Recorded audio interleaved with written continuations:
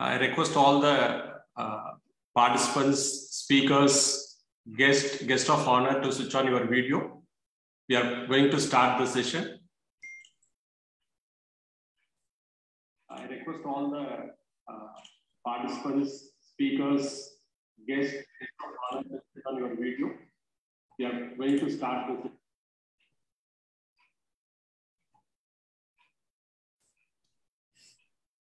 Uh, good evening to all. A very warm welcome and greetings of the hour to all our revered members of Charles Walter Society for Innovation and Research.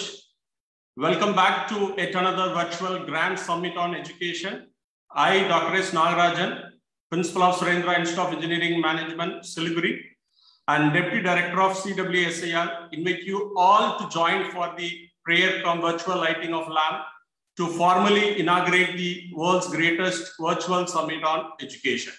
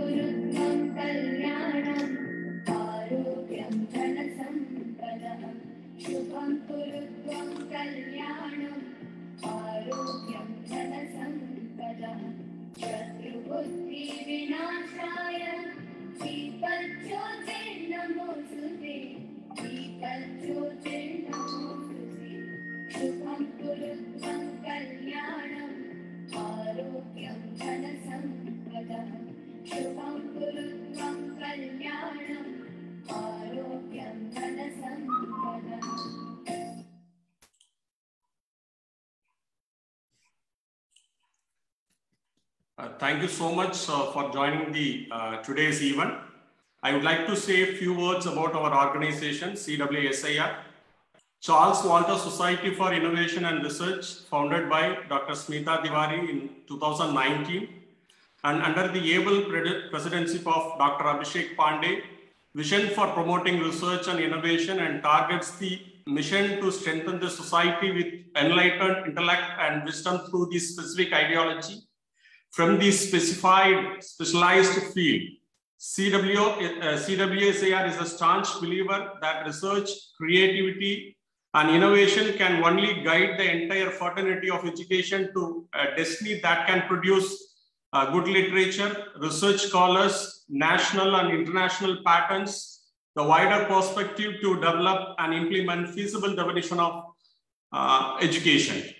Uh, believing in team and collaborative work Charles Walter Society for Innovation and Research pays heartfelt gratitude its uh, executive members, state and country coordinators, uh, country ambassadors, board of directors, and secretariat, and all our governing bodies. Before moving on to the uh, today's agenda, I would like to say a few words about uh, uh, two days summit on education. The World Education Summit is the premier international platform dedicated to innovation and creative action in the education sector. Here, top decision makers share insights with on the ground practitioners and collaborative to rethink and find out various emerging opportunities in the education landscape at present and in future. The summit aims to explore the groundbreaking innovations and encourage steps to ensure significant improvements in the global education sector. No doubt, education has been one of the most impactful sectors worldwide. World Education Summit would provide everyone with the opportunities to network, share your experiences, and expand knowledge in the fast developing academic sphere. So we are going to have two day session. In day one, that is today, we are going to discuss about a grassroots approach which deals with the new educational system from infrastructure to building a strong foundation. And tomorrow we will be discussing about uh, a journey towards a new world which deals with new way of learning with offline, online education and the blended learning. the concluding day of the event, especially tomorrow, the event would feature about the future of education in India and the role of digital system.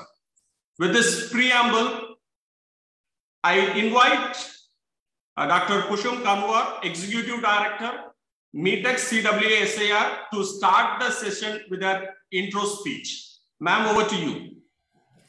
Uh, thank you so much, Mr. Nagar, Nagarajan, uh, for your um, uh, you know introduction. And greetings and namaste to all luminaries and participants. Uh, thank you, CWSIR, Charles Walter Society for Innovation and Research, Dr. Abhishek Pandey, sir, for the honor. The vision of CWSIR is to empower, enable, and inspire the trend of research and innovation to learners with the right foundation of values and culture through academic excellence. For global perspective and to create an ecosystem for the holistic development of all stakeholders. Our mission is to provide an environment for research and innovation, encourage the research bent of learning that creates multivalent competencies in growing learners to enable them to becoming analytical leaders. Our commitments CWSIR is committed to uplift the society by providing voice and platform to women who are in the field of research and social work, thus strengthening them nationally and globally. Empowering schools to eliminate the rural and the urban divide enhancing quality learning through sessions, igniting the spirit of innovation and research. To work towards achieving the United Nations SDGs, Sustainable Development Goals to create a harmonious society. International collaboration to work on common projects to give maximum learning exposure to the budding innovators. Our services? The society strives to empower and support every learner in the domain of innovation and research by providing a platform for the following. Guidance to write theses and research proposal writing, guidance by experts to get original research papers published, assistance to get international patents, placements for researchers, and for those who are involved in research, innovation, and academia provision of platform to demonstrate innovative practices in education, commerce, arts, science, and technology, and others as well. Recommending the eligible members for the UN talks and for conducting master training in schools, colleges, and universities around the globe. Curating international conferences, summits, quality sessions under our initiative. So our initiative, MeetX, organizes national and international conferences, seminars, symposiums, and quality workshops, academic curriculum assistance, and content writing. MeetX is recognizing and honoring the genuine contribution of individuals in diverse streams and disciplines with certified and authorized awards and honoris causa doctorate on the basis of the exceptional work it proposes to introduce the International Journal of CWSIR in the near future.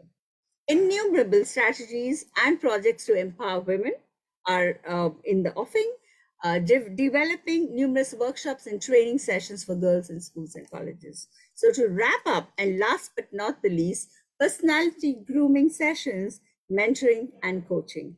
Thank you. Namaste. Uh, over to you, Mr. Nagarajan. Thank you so much, ma'am. As a moderator, it is my duty to uh, formally welcome and give my gratitude for accepting our invitation. And with that note, uh, it, this is my immense pleasure to announce the world's best brains as the chief guest, guest of honor, and keynote speakers in World Education Summit, organized by Charles Walter Society for Innovation and Research.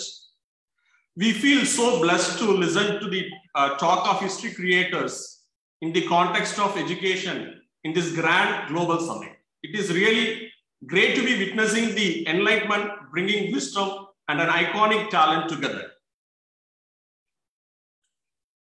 I would like to thank uh, Honorable Education Minister, uh, Dr. Sri Dhar- uh, Dharmendra for accepting our invitation uh, to be the chief guest of uh, this today's uh, World Education Summit. Thank you, sir, for accepting your uh, accepting our invitation. I also thank uh, Sri Anurag Thakur, Ministry of State uh, Finance and Corporate Affairs, Government of India, and Sri Arjun Ram Meghwal, Ministry of State for Parliamentary Affairs, Government of India, for accepting our invitation and uh, deliver uh, inaugural speech today and tomorrow.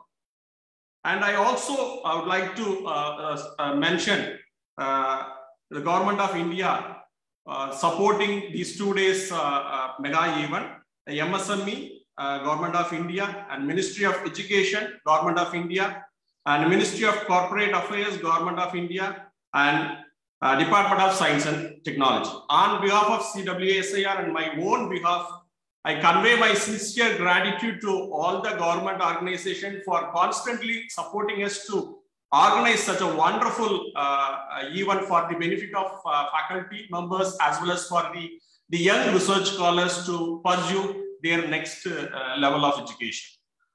Uh, with that small note, I will move on to the today's agenda.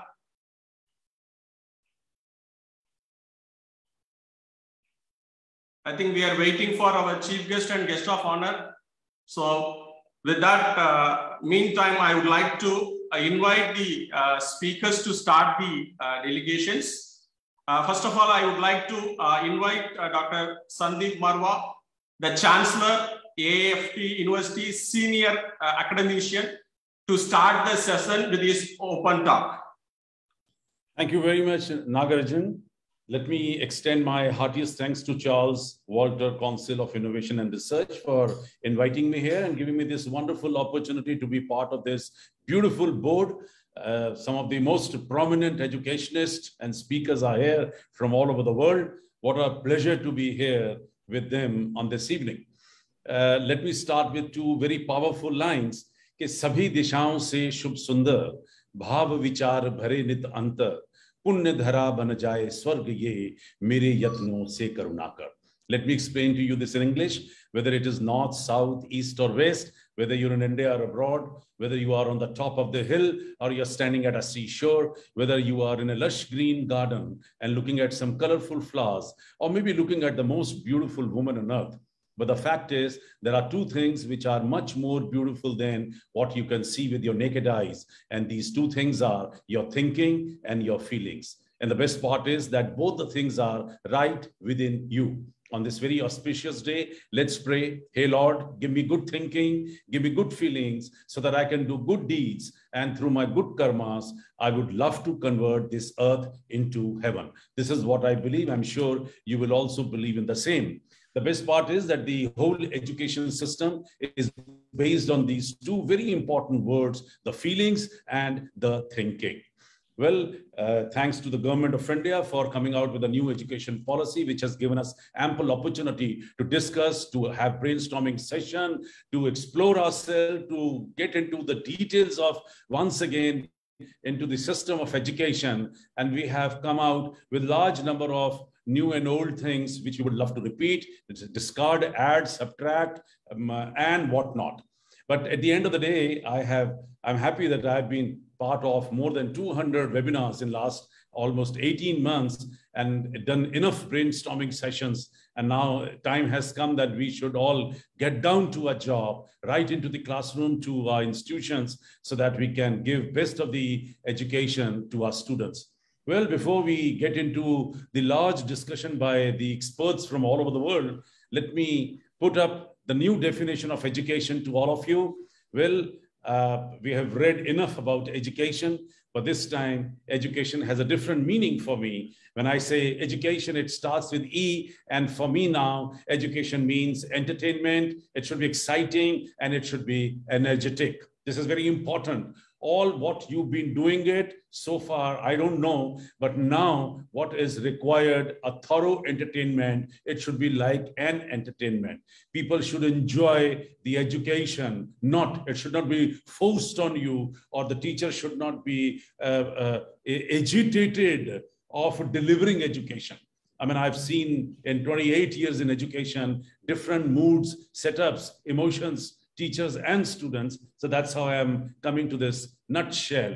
and it should be exciting because the education should be the institution part should be so important that uh, the student should be eager and anxious to come back to the institution next morning rather than skipping and bunking from the classes well if this is the way we take it, trust me, you might need to change somewhere here and there the curriculum and the syllabus.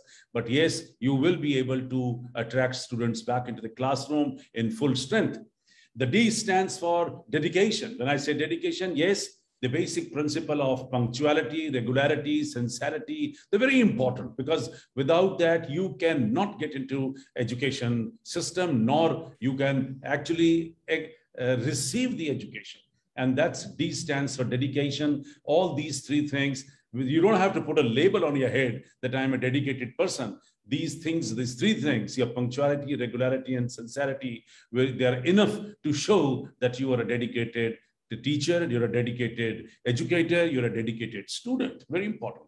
And D, of course, stands for discipline. And discipline is the key of uh, uh, this new education system. We have to bring back uh, all that discipline back into the institutions so that uh, we, we are in a position to deliver our best to our students. D also stands for a very strong determination, very important, because this is what is losing.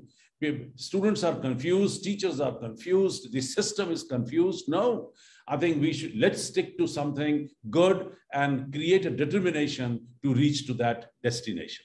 Well, when I say you, you means working under controlled circumstances as very well said by Dr. Kusum, SDG is a very important word which is given to you know, us by United Nations. Every government uh, body, every private body, every institution must talk about SDG, the Sustainable Development Goals. That means we have to learn how to work in the given resources, in the given resources. Very important. You just cannot, I mean, when, when your fee is reasonable, you you you have to be uh, you have to work within that parameters.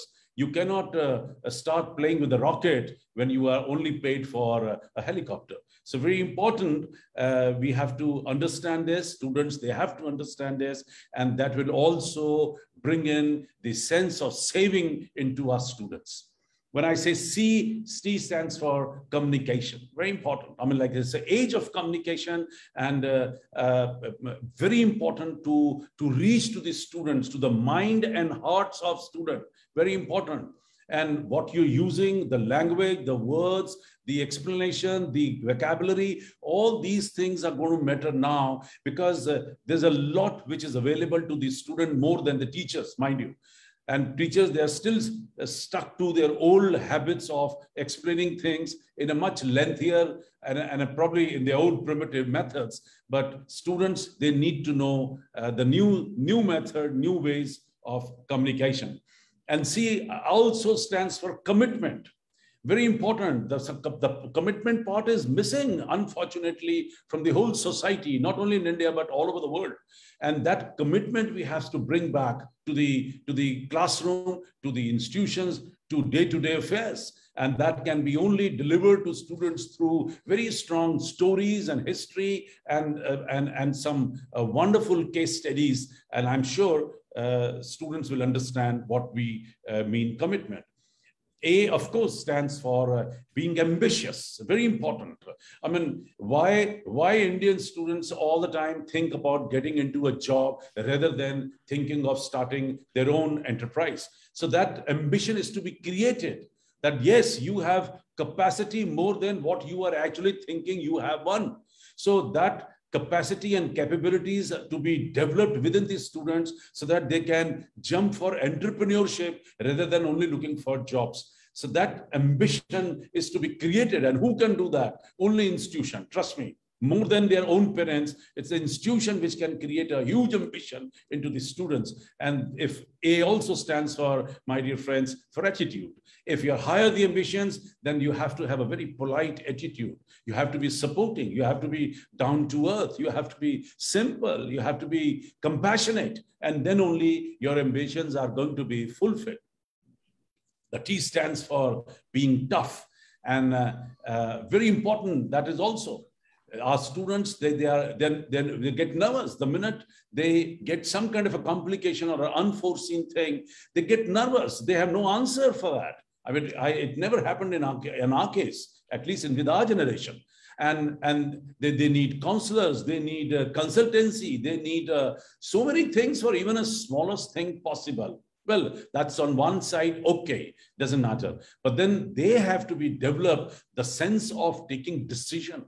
They're so undecisive. They're on their own. They can't take decisions for a, one or other thing. So that being tough is very important in the whole education system.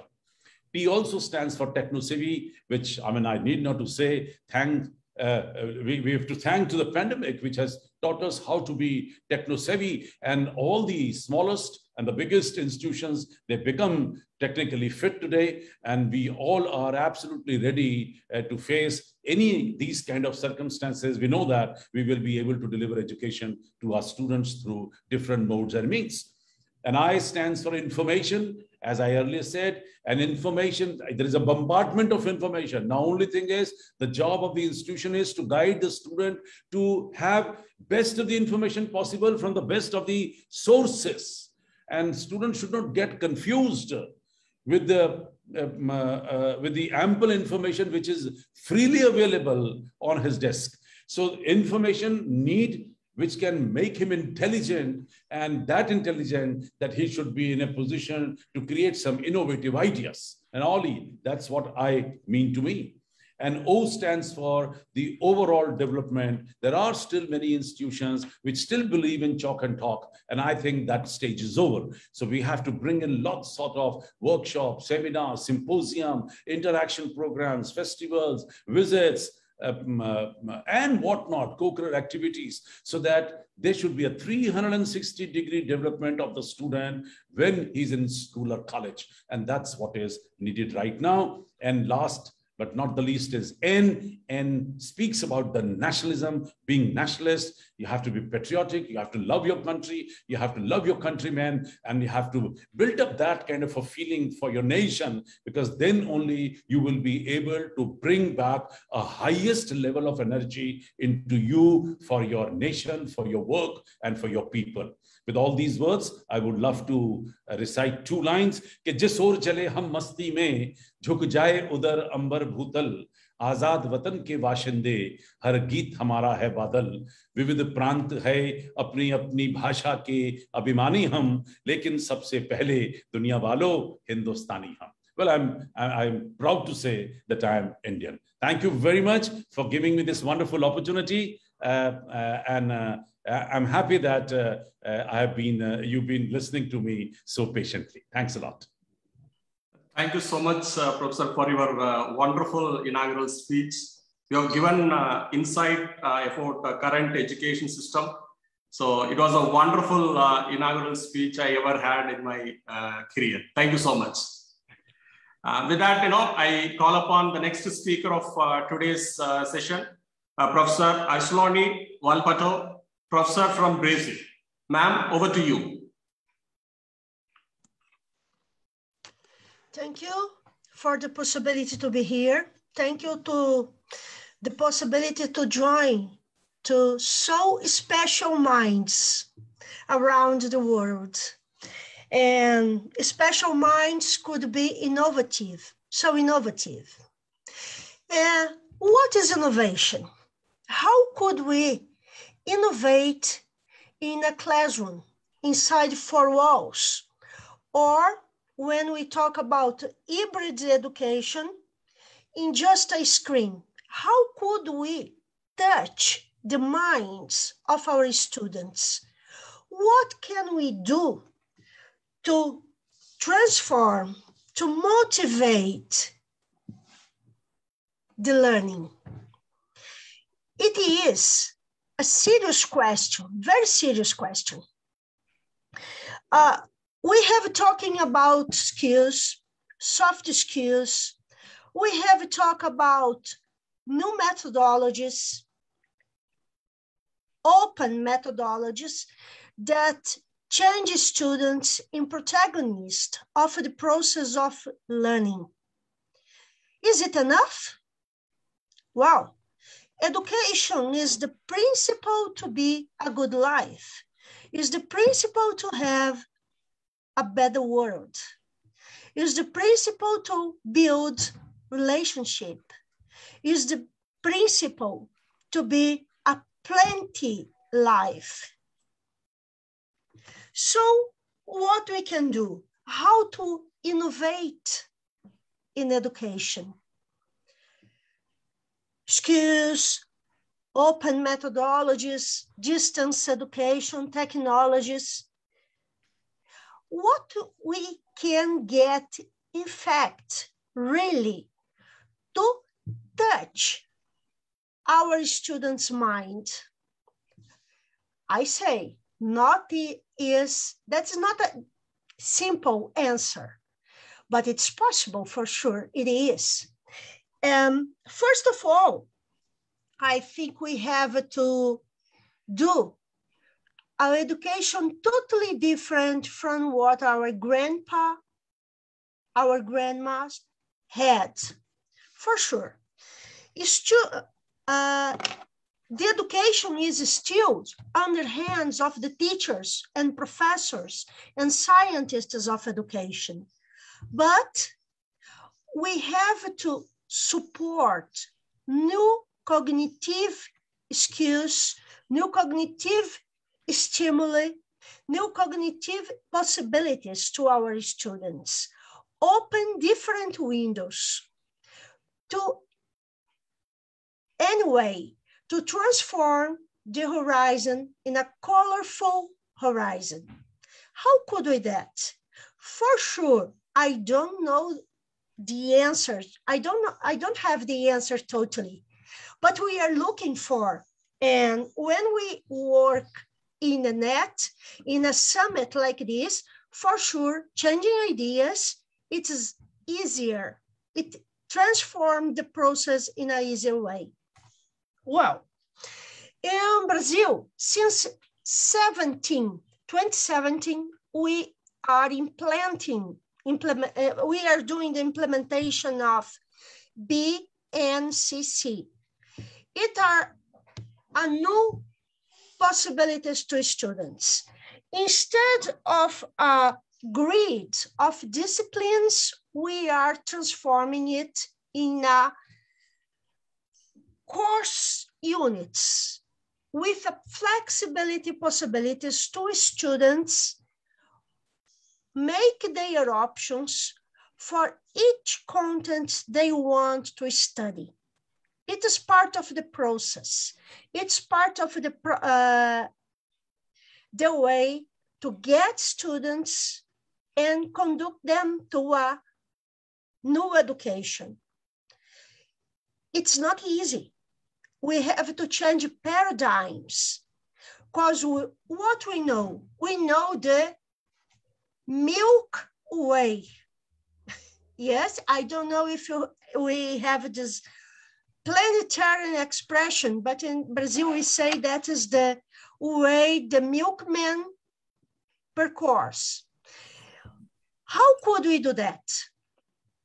Flexibilize, flexi, flexibilize, oh, oh, flexibilizing the process is a way to do that.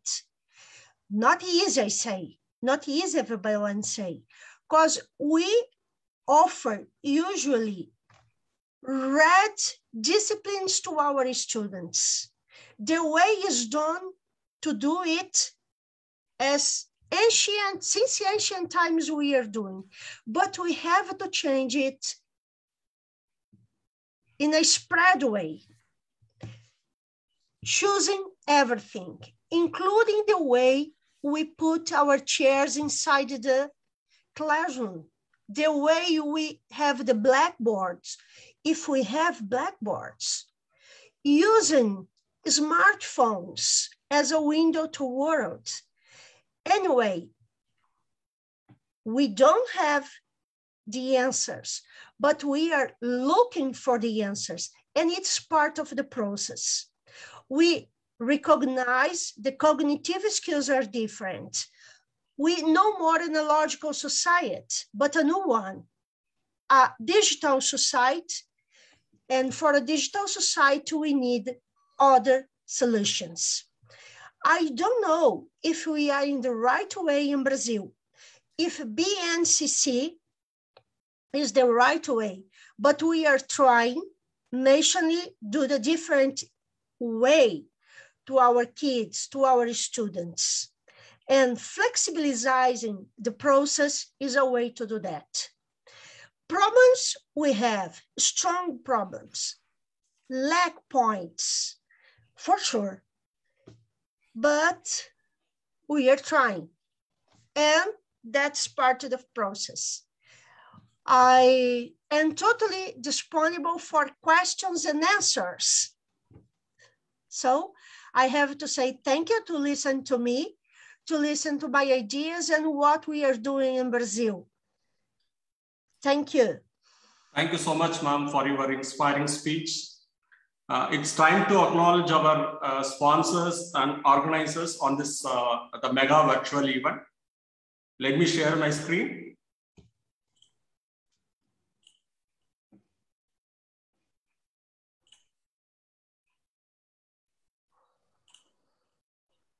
So today and tomorrow, we are going to have two days uh, virtual mega event on World Education Summit. Uh, it is supported by Modern Group of Institution. Thank you so much. And this is our uh, agenda of uh, day one today. We are going to discuss about grassroots approach. And tomorrow we are going to discuss about uh, journey towards new world in different perspective.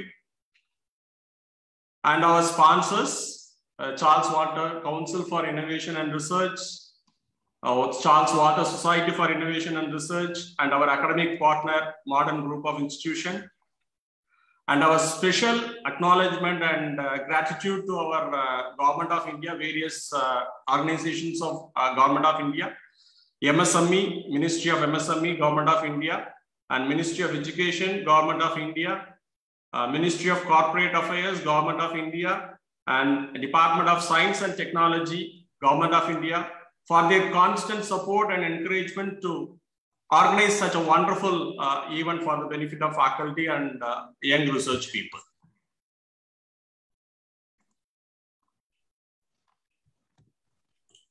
I would like to share the, the invitation which we have communicated to our uh, Honorable uh, Education Minister. This is for your kind information. So the president of uh, our council has communicated and sent a uh, official invitation to education uh, minister, Honorable Sri Dharmendra Pradhan, to take part in this particular event. Sir has accepted our invitation and he is the chairperson for today's event. tomorrow he'll be going to address the gathering.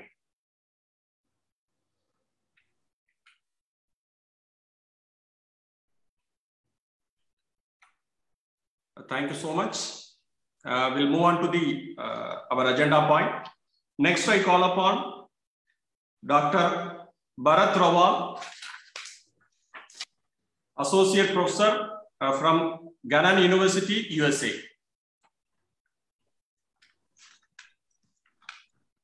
Thank you.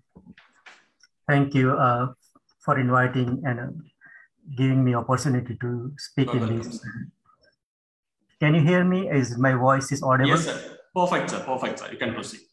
Thank you. So, so you know the uh, today like focus is more on education's uh, the topic. The previous speaker also already talked uh, so many wonderful things. So in perspective, US and uh, you know US is leading the the the globe in education sector. What we do here differently than the rest of the world? So this is like main uh, thing. Uh, so here is focus on like learning outcome, what student learn at the end of the, the class, at the end of the semester, at the end of the program. Okay, everything is calculated, everything is uh, recorded. So which make like uh, you can assess, you can have like, uh, you know, uh, some measurable tools. You can make them and measure them that where how you progress what you did pre- compared to your previous, how you did with compared to your colleague, how you did compared to a nationwide. Right? So all those things are really, uh, I, I think I realize is very important uh, in US uh, education system, and I believe nowadays all over the world everybody is following the same same strategy. So as an educator, like for me, like every day, it, it's not the easy job. Uh, say every class is, you know, challenging. Uh, every uh, need to be prepared. If you think that you're going to do a mundane thing every day, then it, you cannot be a good teacher. Okay, so we take we take responsibility what we teach. We take responsibility what we know. Okay, so we should not be pretended. You know, the, the that we know everything. And uh, when we talk in the class, we need to tell them the fact, right? So many time our curriculum or our syllabus or those are very, very old and uh, the modern, since I'm in the technology world, I teach technology classes. So anything we teach is like out of dated, outdated. And uh, many things changed, many more uh, reality came there. So we need to keep uh, the students are more advanced. They try to Google uh, much faster than us. And it's always also again challenging. A student will keep challenging you by Googling. And uh, again, you need to respond uh, and how to tackle those situations. Those are like uh, really important aspects for the modern teacher. Um, so in nutshell, you know, in academia, like a previous speaker also said that we face every day, you know, the very challenging and still we try to deliver same good uh, lecture uh, in class. We might have very sad situations we're facing or still we need go and deliver. We don't want to reflect what from where we are coming to the class. Okay? We want to deliver best of us. So this is the scenario, even though there is huge turmoil going in our life, in our inside, and in our face reading, we try to make that, okay, we are calm, quiet, and uh, deliverable. This is the face of today's teacher. This is required, actually. It's not, uh, so if you're feeling angry or anxiety in class, uh, people will complain. The student will complain and you'll be kicked out from academia. So this is somehow like, you know, we, we are in, the, in this world.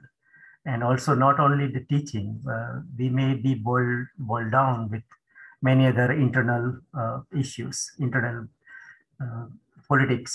Okay, so politics is everywhere. This politics may be for competitions. This politics may be for promotion. This politics may be staying top of the world, staying number one uh, positions, right? So you you face a lot of those issues and uh, always uh, I uh, I like I came from you know Indian culture, India, and so we we follow uh, our traditional the learning process. What we learn, Guru Kul mechanisms. We trust, we respect our teachers, and uh, we follow. And I think it's worked very well.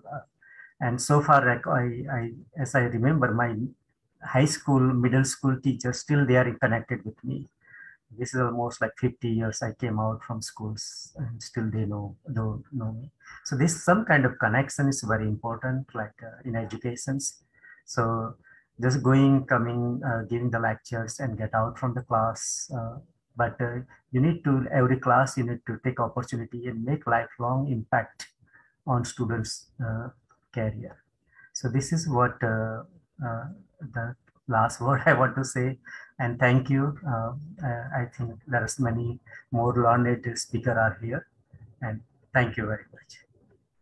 Thank you so much, sir, for your uh, wonderful speech.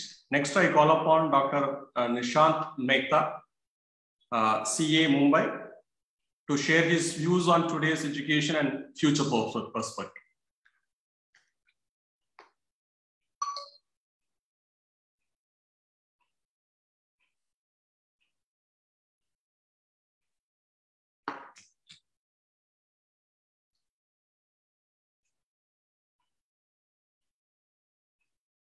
Next, I call upon Dr. Megha Sharma, founder and managing director, the Empower All Foundation, Mumbai. Ma'am, over to you.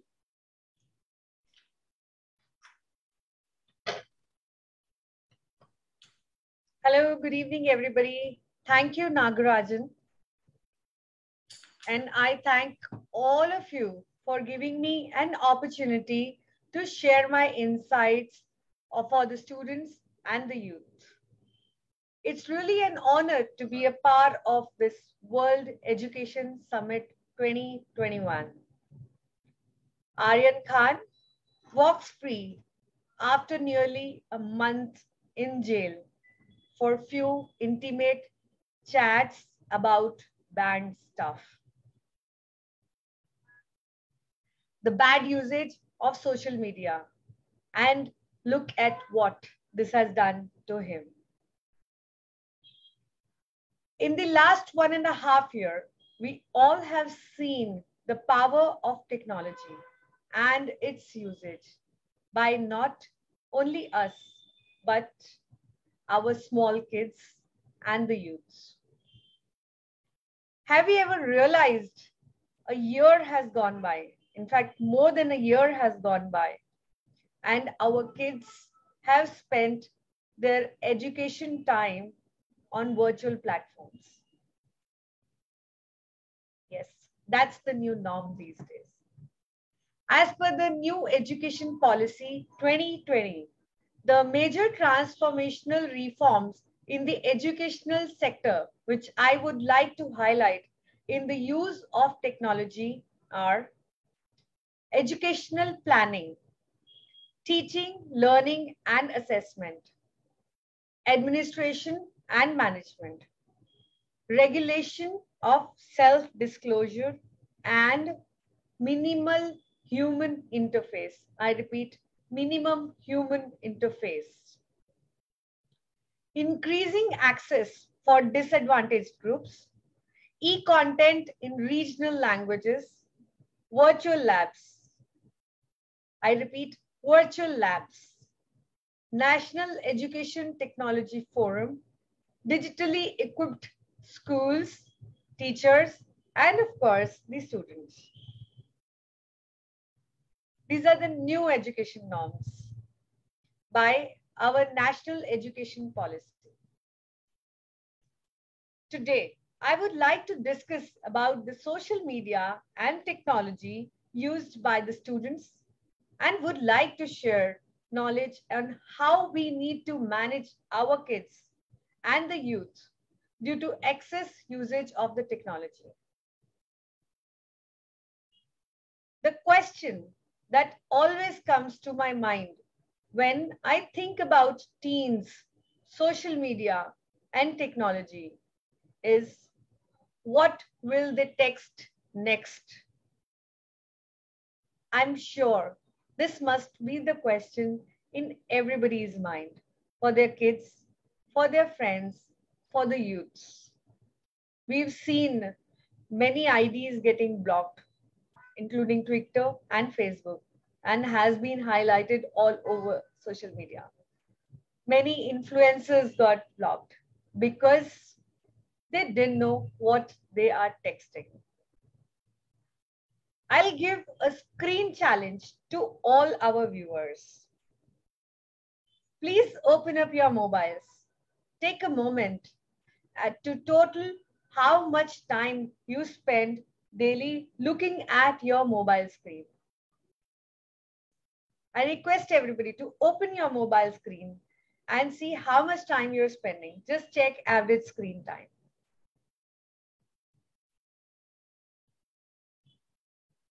Aren't the results shocking? Four to This five is hours. just mobile screen time. And we may be spending time on laptops, on TV, on somebody else's screen, or maybe tabs also, which is not calculated here. I'll give you some shocking figures. Before that, there is a question that tingles onto my mind always. If I, as a professional, is spending so much time on the screen, what about my youth? What about the school kids? I have seen, especially the school kids and the college kids, they are using three, three laptops at one time. One, they are using for games. Second, they are using for their online classes. And third, just to do chatting and social media. So imagine the screen time that they all have. The numbers that I will share with you would be really shocking. Kids today are growing very fast. 70% of the teens have cell phones in a country like India. We are still not developed, but still 78% of the teens have cell phones and almost half of them own smartphones, which includes some kids from the underprivileged section as well. One in four are self-friendly internet users. 23% of the teens also have a tab. 81% teens use social networking sites. Now this figure you must realize. 8 to 18 years old kids, they devote average of 7 hours 38 minutes to use in entertaining media across a typical day. 7 hours and 38 minutes for entertainment screen time only, plus their education time. 100% of EHS students have laptop and an access to the internet. Isn't it shocking? Aren't we seeing that our youth is becoming a slave to the screens? The most commonly apps that are being used by the youths are WhatsApp, Snapchat, Instagram, Viber, Facebook, TikTok, which is right now banned in India, but there are other apps which are like TikTok, Pinterest, most favorite, Facebook and Twitter.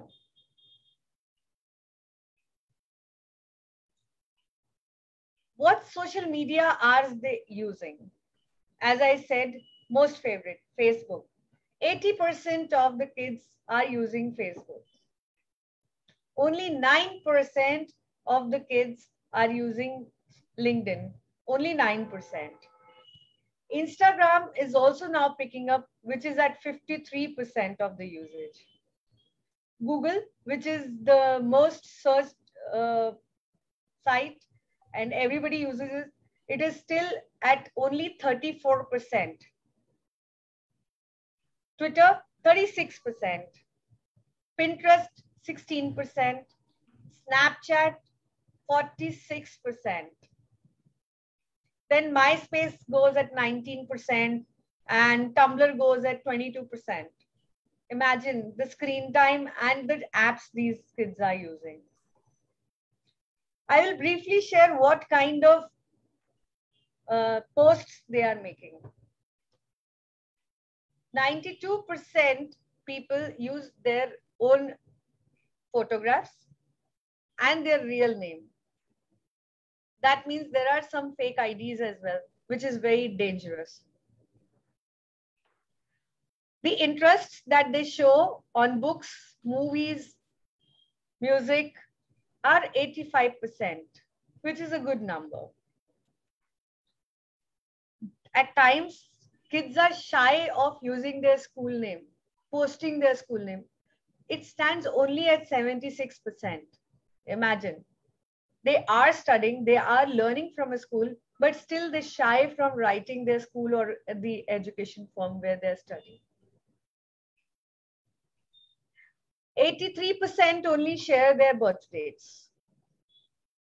So only 72% of the kids share where they come from, their city, town, or wherever they live.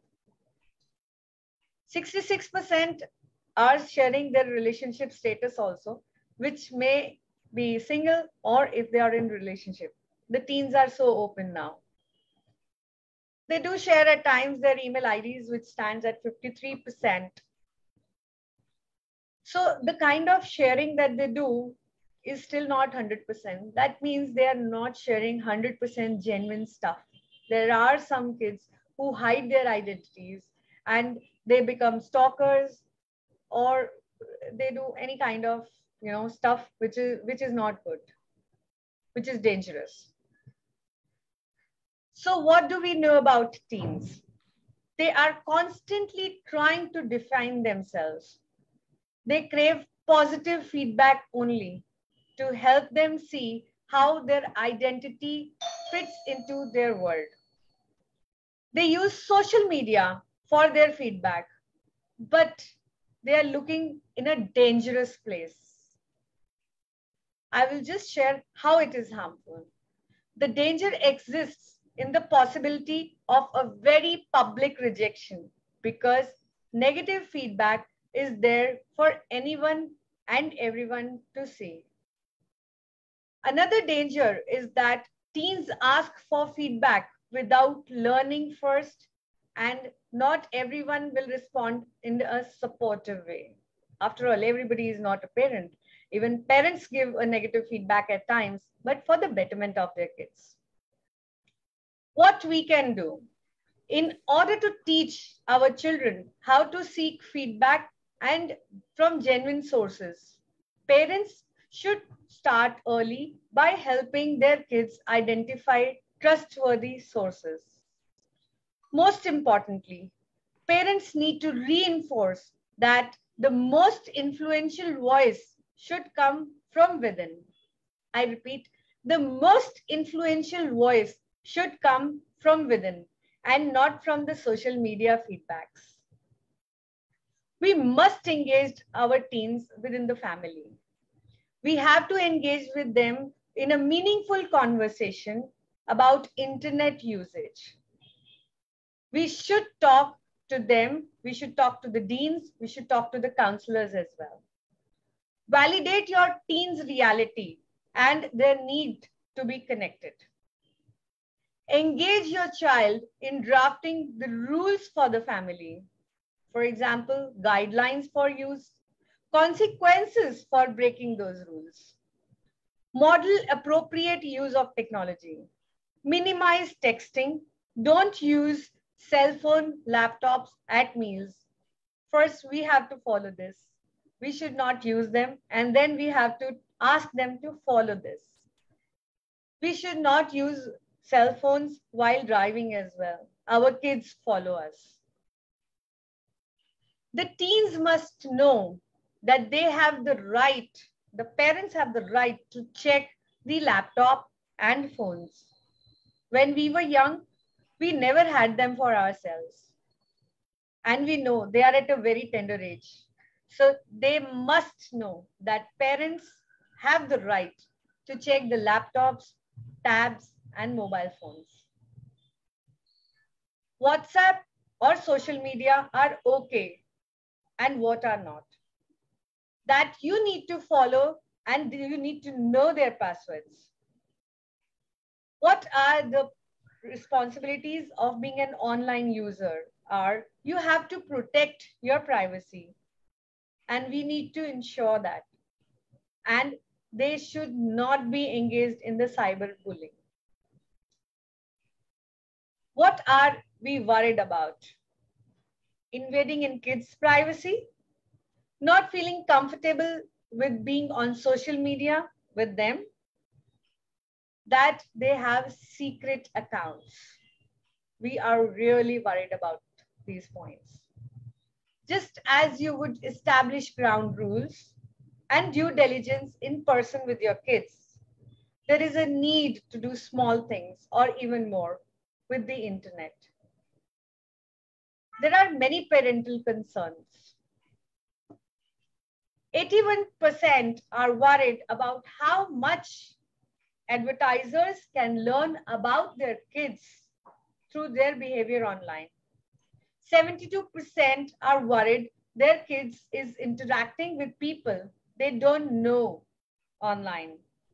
70% are worried about how their online activity might affect their future academic or employment opportunity. 60% are worried about kids' reputation online. Imagine. At the tender age, we are all worried about their reputation online. I am suggesting few of the apps to protect your kid. Canary, Mama Bear Child Tracker app, Rapid Protect, Progressive Snapshot, My Mobile Watchdog, Mobile Spy, Text Guard, Web Watcher. I will repeat all the apps once again. Canary, Mama Bear Child Tracker app, Rapid Protect, Progressive Snapshot, My Mobile Watchdog, Mobile Spy, Text Guard, and Web Watchers. So dear fellow teachers, educationists, and parents, let us spare some time for the youth and make sure that the social media is a boon for them and not become a disaster for them. Let's all take an oath to make sure that we will spare time from our busy schedule to impart good upbringings to our youth and students. We will make sure that our students and kids and the youth actually use the good power of social media and bring a silver lining to their career. I would rather say, let's strive for a diamond lining for their careers. The school may open school soon. Many have already opened for the higher classes, but for the lower classes also, they may be opening very soon. The kids will be back to school. But my friends, e-learning will never go. It will never stop. It was there before COVID. It will be there. In fact, it will be extensively there post-COVID now. We will still have hybrid schooling.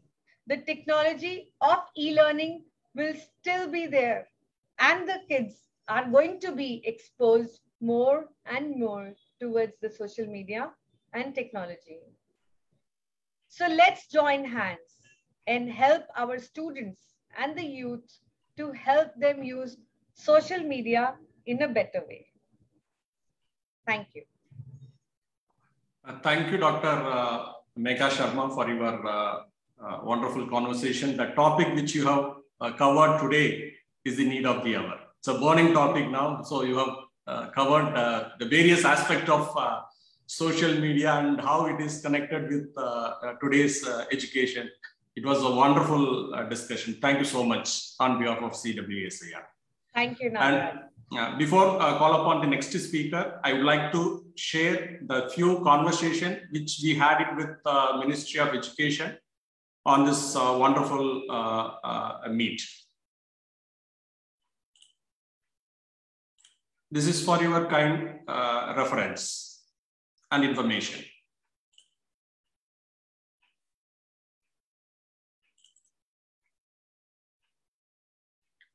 Uh, this is the conversation we had it with uh, the Secretary of uh, Education, Minister, regarding this, uh, the grand uh, two days educational summit. SAR will be joining tomorrow, the second day of uh, summit. The next one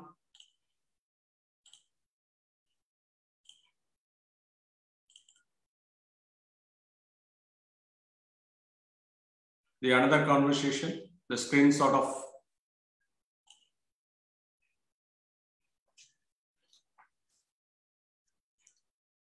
Thank you so much, Government of India, various ministry for their constant support and encouragement for making this uh, wonderful event possible today. Uh, this is the invitation which we have uh, communicated to uh, our Honorable Education Minister.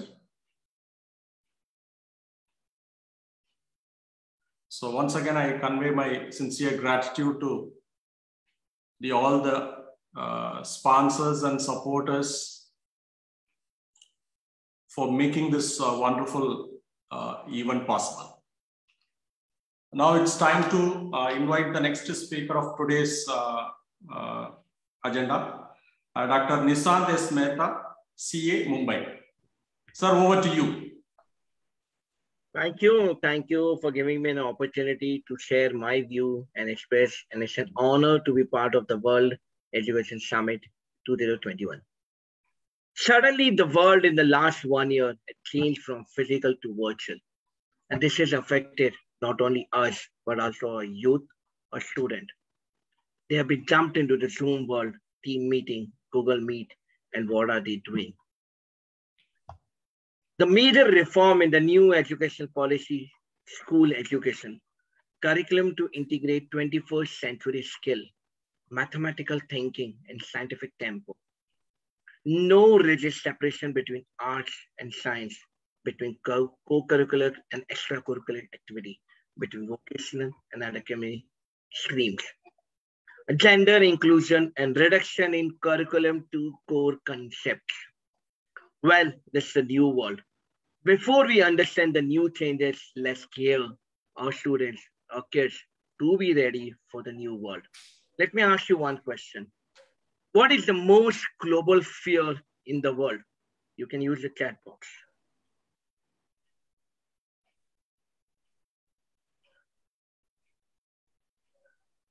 What is one thing which fears you?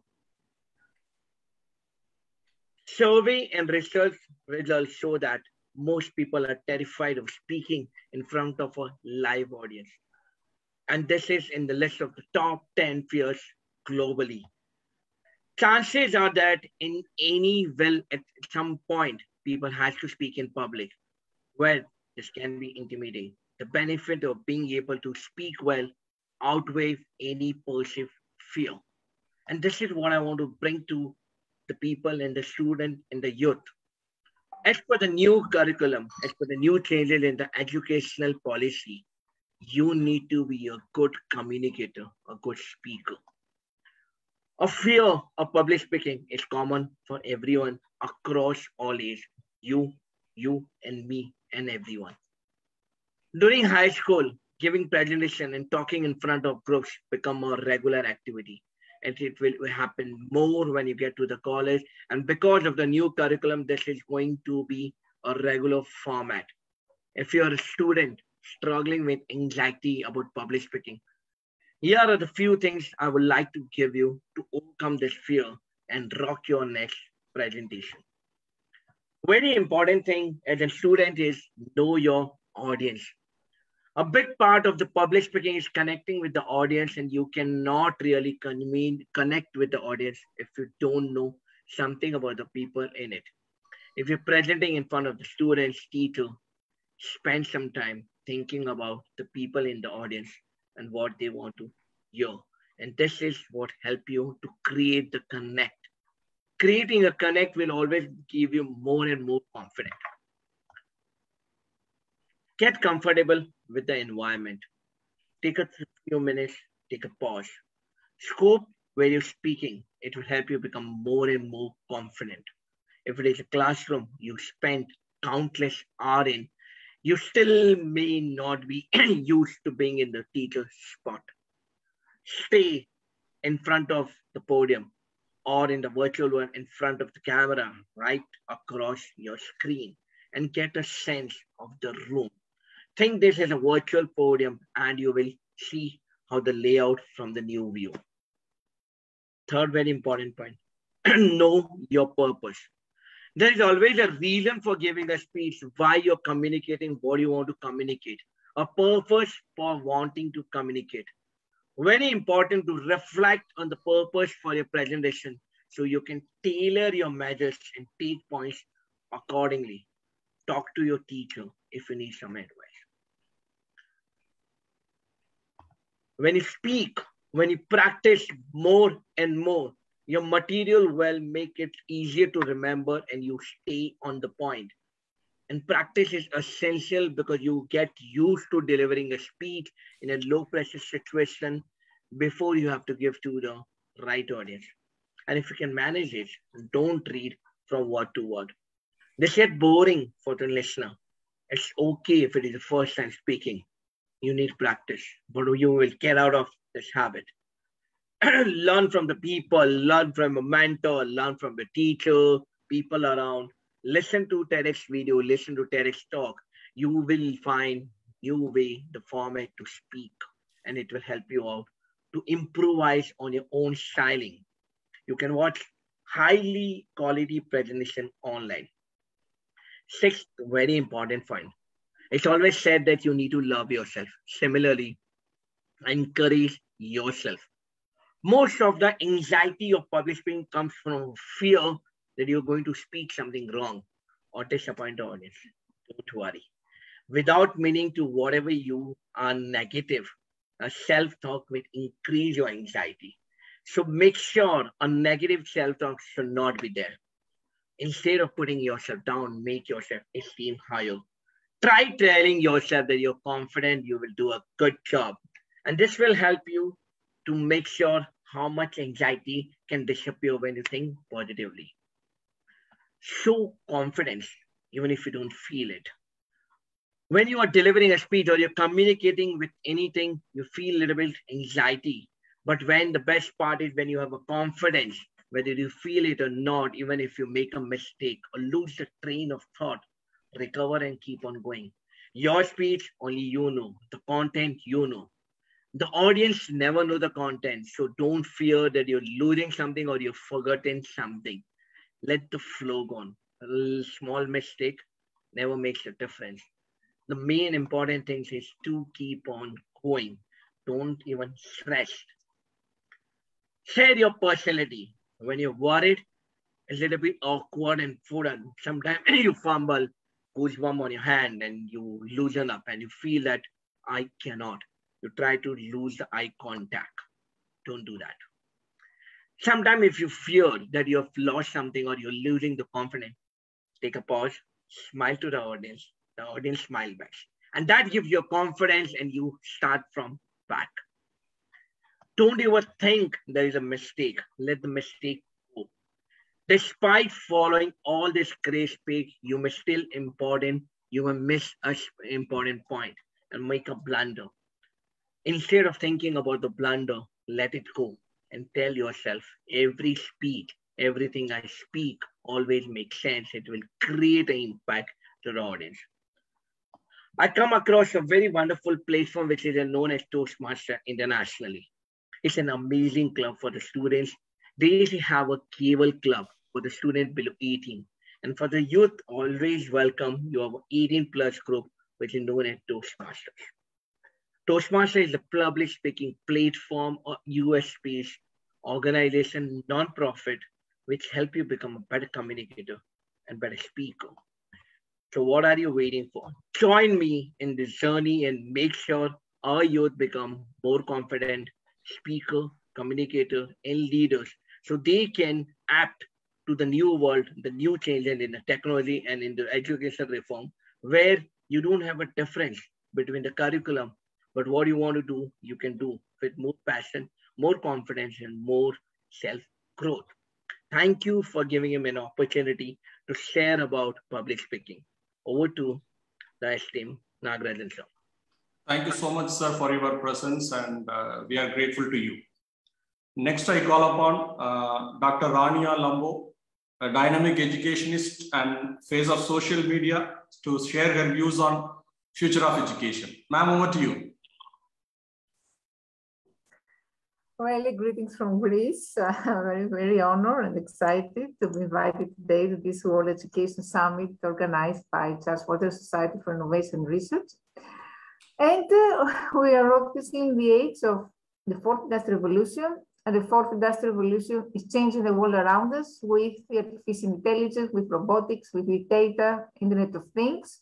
And the main challenges that are related to the exponential growth of digital tools that include robots, communication systems, and associated energy consumption, or that the impact on jobs and industry that these tools are creating is huge. Uh, however, they also present huge opportunities to tap because we need highly skilled, but at the same time flexible, emotionally and socially intelligent professionals that can solve tomorrow's problems already from today. So futurizing education for building uh, a workforce for uh, industry 4.0 will need a more robust professional framework. Education plays an important role in ensuring the skill readiness of the labor force. General education as well as vocational education will have a critical role to play in making this labor force industry ready. And to take full advantage of this opportunity created by advanced technology, we need a similar revolution in education. So this calls for developing education 4.0 for students and teachers that addresses the needs for the fast developing world around us. Unfortunately, in most schools and colleges, we still uh, teaching subjects in traditional ways with same old course content. So any uh, discussion on the future of work should go hand in hand with discussion of the future of curriculum and also about those who eventually will deliver it, teachers and students. In this education system of the future, of course, the role of teachers is changing. It's going more to be more facilitator, guide, and mentor. And this will require uh, a radical transformation in their approach to focus more on uh, outcome-based teaching uh, instead of continuing with traditional ways. And this transformation also must include key areas such as employability, student experience, research excellence, societal impact, and benefit for the industry. Today's learner also does not need instructor-led educational models, but wishes to engage through multiple sources of knowledge at his own pace. So we are faced with the challenge of redefining redesigning the curriculum to keep up with the evolution of skills required to solve problems, to innovate and succeed. Because as a society, we're failing, I think, to meet that challenge and uh, consequently we fail to adequately prepare the next generation for the future. So how will future generations thrive in this changing landscape? How can education and training providers keep pace with this unprecedented level of change? Um, I think there are two, uh, there are three levels. First of all, content, the content. As far as the content is concerned, here we need, of course, to upgrade the technical side of the curriculum to accommodate the learning of next generation robotics, of additive manufacturing, smart materials. But at the same time, we need to incorporate non-technical disciplines into the curriculum, such as communication, project management, arts marketing, in order to develop cross-cutting competencies and a mindset beyond technical expertise. And of course, we need to pay special attention to questions of ethics, social inclusion, diversity, and sustainability. That means that we need to incorporate sustainable development goals into our uh, lessons. That means also that we uh, need to offer a holistic view of education and also teach uh, students how to acquire new skills as needed in the new post-COVID era. As far as the learning environment is concerned, um, we need to apply problem, project-based learning, inquiry-based learning, challenge-based learning to stimulate learners to work on challenging real-life problems for which there are no established answers. Encourage learners to conceptualize their theoretical learning in relation to how uh, it would be useful in the world around them. Knowledge is not connected to reality. And instead of focusing on standardized thinking, correct answers, and objectivity of judgment, we need to create a learning environment that would stimulate creativity, forming own opinion, and divergent interpretation. So create also a culture that accepts mistakes, potential failures, and develop the ability in students to turn those failures into valuable learning experiences create environments that can offer experiences to relevant real world conditions, working conditions, and also encourage collaborative learning and stimulate technology enhanced, technology enabled uh, learning uh, with the use of uh, all this treasure we have of digital tools. The three, um, the third part concerns the access of collaboration because Moving towards the paradigm of lifelong learning, educational institutions also need to evolve, evolve and occupy new roles in the ecosystem. It also implies the, uh, the evolution of existing and emergence of new collaboration patterns. Different types of collaboration are needed in order to ensure a multitude of experiential opportunities, including collaboration with companies, manufacturers, technology providers, startups, other educational institutions via joint platforms, uh, thematic networks, uh, peer-to-peer learning, supporting structures, industry associations, cluster organizations, similar, governments, community.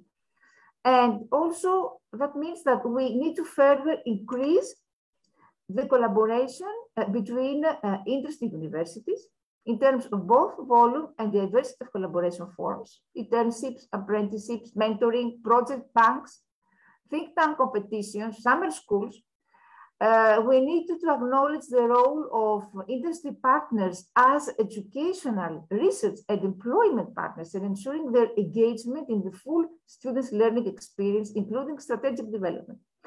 Create more opportunities for exchanging experiences with other educational institutions, facilitate peer-to-peer -peer learning, create effective learning ecosystems that engage all key stakeholder groups, including education and training providers, industry policymakers, supporting structures, broader community. And of course, we need to shift from human-machine interaction towards human-machine collaboration as an evolving collaboration form. Because we are in the threshold of the fifth industrial revolution and humans should go along with machine, since uh, students and teachers are not machines, uh, they're humans, so we need to focus also on this uh, dimension, especially uh, on social emotional learning. And apart from this, we are also in the COVID era. Uh, so we have seen how from the onset of the pandemic, teachers were immediately tasked with implementing distance learning modalities, often without insufficient guidance, training, or resources. Uh, and uh, these uh, actually teachers were largely prepared and even in context with adequate infrastructure, many educators lack the basic ICT skills. Uh, so this crisis has highlighted that both initial and in-service uh, teacher uh, education are need of reform to better train teachers in new methods of education delivery. So this crisis has stimulated also innovation within the education sector. We have seen many innovative approaches and as Albert Einstein said, uh, crisis is a great blessing for people and nations because the crisis brings progress. And creativity, says Einstein, comes from anxiety as the day comes from the dark night. And I strongly believe that this crisis is a great resetter of economy, society, and education, opportunity to bring forward long-awaited reforms for the development of education community uh, skills so this COVID pandemic aroused the need for optimizing the role of teachers, since teachers are the agents of change in education. And also this uh, showed the needs for change uh, because it requires skill, teachers to develop survival skills in order to survive and thrive in a certain world, the new normal, such as flexibility, adaptability, resilience, empathy. And of course, uh, we have new uh, new demands. We, we need a curriculum redesign, as I said before. We need hybrid learning, blended learning now, and lifelong learning. Long-standing literacies such as reading and writing are not sufficient anymore. We need new literacies such as technological literacy, data literacy. Why data literacy? Because students are bombarded uh, by an ocean of information, so they need uh, a filter, not filter uh, this information. They need to develop the critical think uh, skills and uh, also um, human literacy, as, uh, as I said before. So um, education as um, an undeniable human right is a bedrock of uh, equal and just inclusive societies and key driver of sustainable development. We need to strengthen the resilience of education systems in order to respond to immediate challenges. And of course, a strong educational system should promote key competencies including solid basic skills, digital, transversal, green, and other life skills which provide strong foundation for resilience, lifelong learning, lifelong employability, social inclusion, active citizenship, and personal development. Uh, thank you very much for your attention. Uh, uh, thank you, Dr. Rania Alambo, for accepting our invitation. Uh, next, I, I, would like to uh, introduce uh, the guest of honor of today's E1. Uh, Engineer Anand Kumar, founder, Super 30 partner. Anand Kumar is an Indian mathematics educator, best known for his Super 30 program, which he started in Patna, Bihar in 2002, and which coaches underprivileged students uh, for JEE Advanced, the entrance examination for the Indian Institute of Technology. By 2018, uh, 422 out of 510 students had made it to the IITs and Discovery Channel showcased his work in a documentary. Kumar has spoken at the MIT and Harvard about his programs for students from the underprivileged sections of Indian society. Kumar and his school have been the subject of several uh, uh, swear campaigns, some of which have been carried in Indian media sources. His life and work are portrayed in the 2019 film uh, Super 30, where Akshay Kumar is played by Hrithik uh, Roshan, uh, which uh, where Kumar is played by uh, Hrithik Roshan. On 8th November 2018, Anand Kumar was honored with the Global Education Award 2018 by Malabar Gold and Diamonds in Dubai. His efforts in the field of education are considered pioneering. Anand Kumar has been felicitated in the US with Education Excellence Award uh, in 2019 by the Foundation for Excellence in Education at a function in San Jose, California. Anand Kumar received Mahavir Award in Chennai.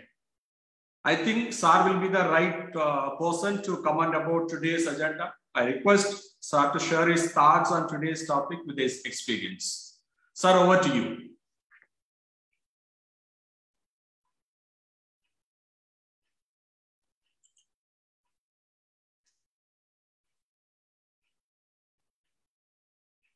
Ananda Kumar, sir, over to you.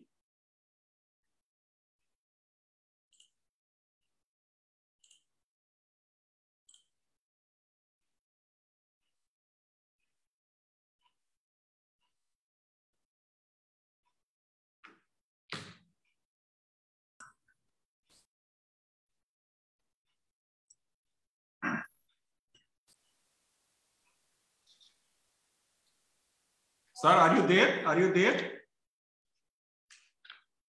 Okay, meantime, I will call upon the next speaker, uh, Dr. Uh, Pandit, Professor IP Innovation and Entrepreneurship at uh, JNU, formerly Dean ABVS ME JNU Program Director AIM, Niti Aayog, and member IPR TT OSD to CIM, Head IP now I request uh, Dr. Onnath Pandit to share his views on past, present, and future of education.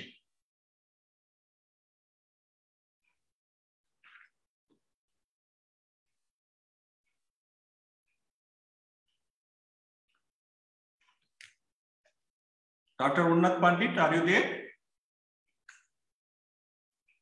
Okay, we'll move on to the next speaker.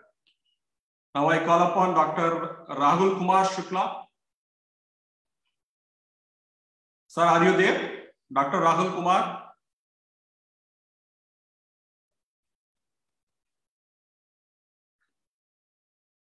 Okay, now I call upon uh, Dr. Shofi Nubani, the pillar of our organization, the dynamic educationist, founder, Circle of Creative Masters Institute, ESA. Ma'am, I request you to share your views on present, past, and future of education. Over to you, ma'am.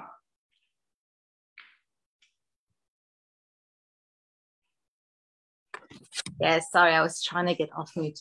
Hello, and thank you so much for the invite. And I'm so grateful to be part of this beautiful educational summit that we can all gain insights and be able to pivot better in such challenging times that we're facing, the transitioning from where we are and what we are bridging to go to requires a lot of attention from the educators and also school systems and organizations and summits like we are doing and the attention of governments so that we may flourish and allow the generational gap between our youngest and the new fast speed of technology that is coming upon our eldest to be minimized through education. And as a creative mindset strategist and consultant, my very core values in this area goes back to the importance of creativity and optimization of a creative mindset in classrooms. And without that, we are not going to be able to go to the next level of research to write topics and then for innovation as well.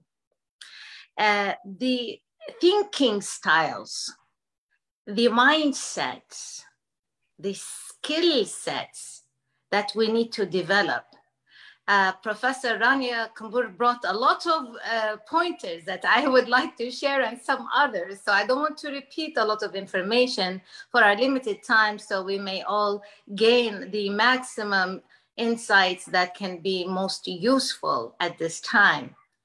During a, a creative process, there is always the thinking and the process. And when that is applied into a classroom setting with mindfulness on creating environment to support that, emotional and social skills, as mentioned, are extremely important. And as a certified emotional intelligence coach, I am recognizing and seeing that this is being a challenge for many of our youth at this time. They are more comfortable in texting or writing than in person communication. So the encouragement of creating a platform for youth to be able to speak uh, and express and process their feelings through expression and communication is going to be extremely important. As very much said, the four main uh, skills that are needed in the 21st century are communication, collaboration, creativity, and critical thinking.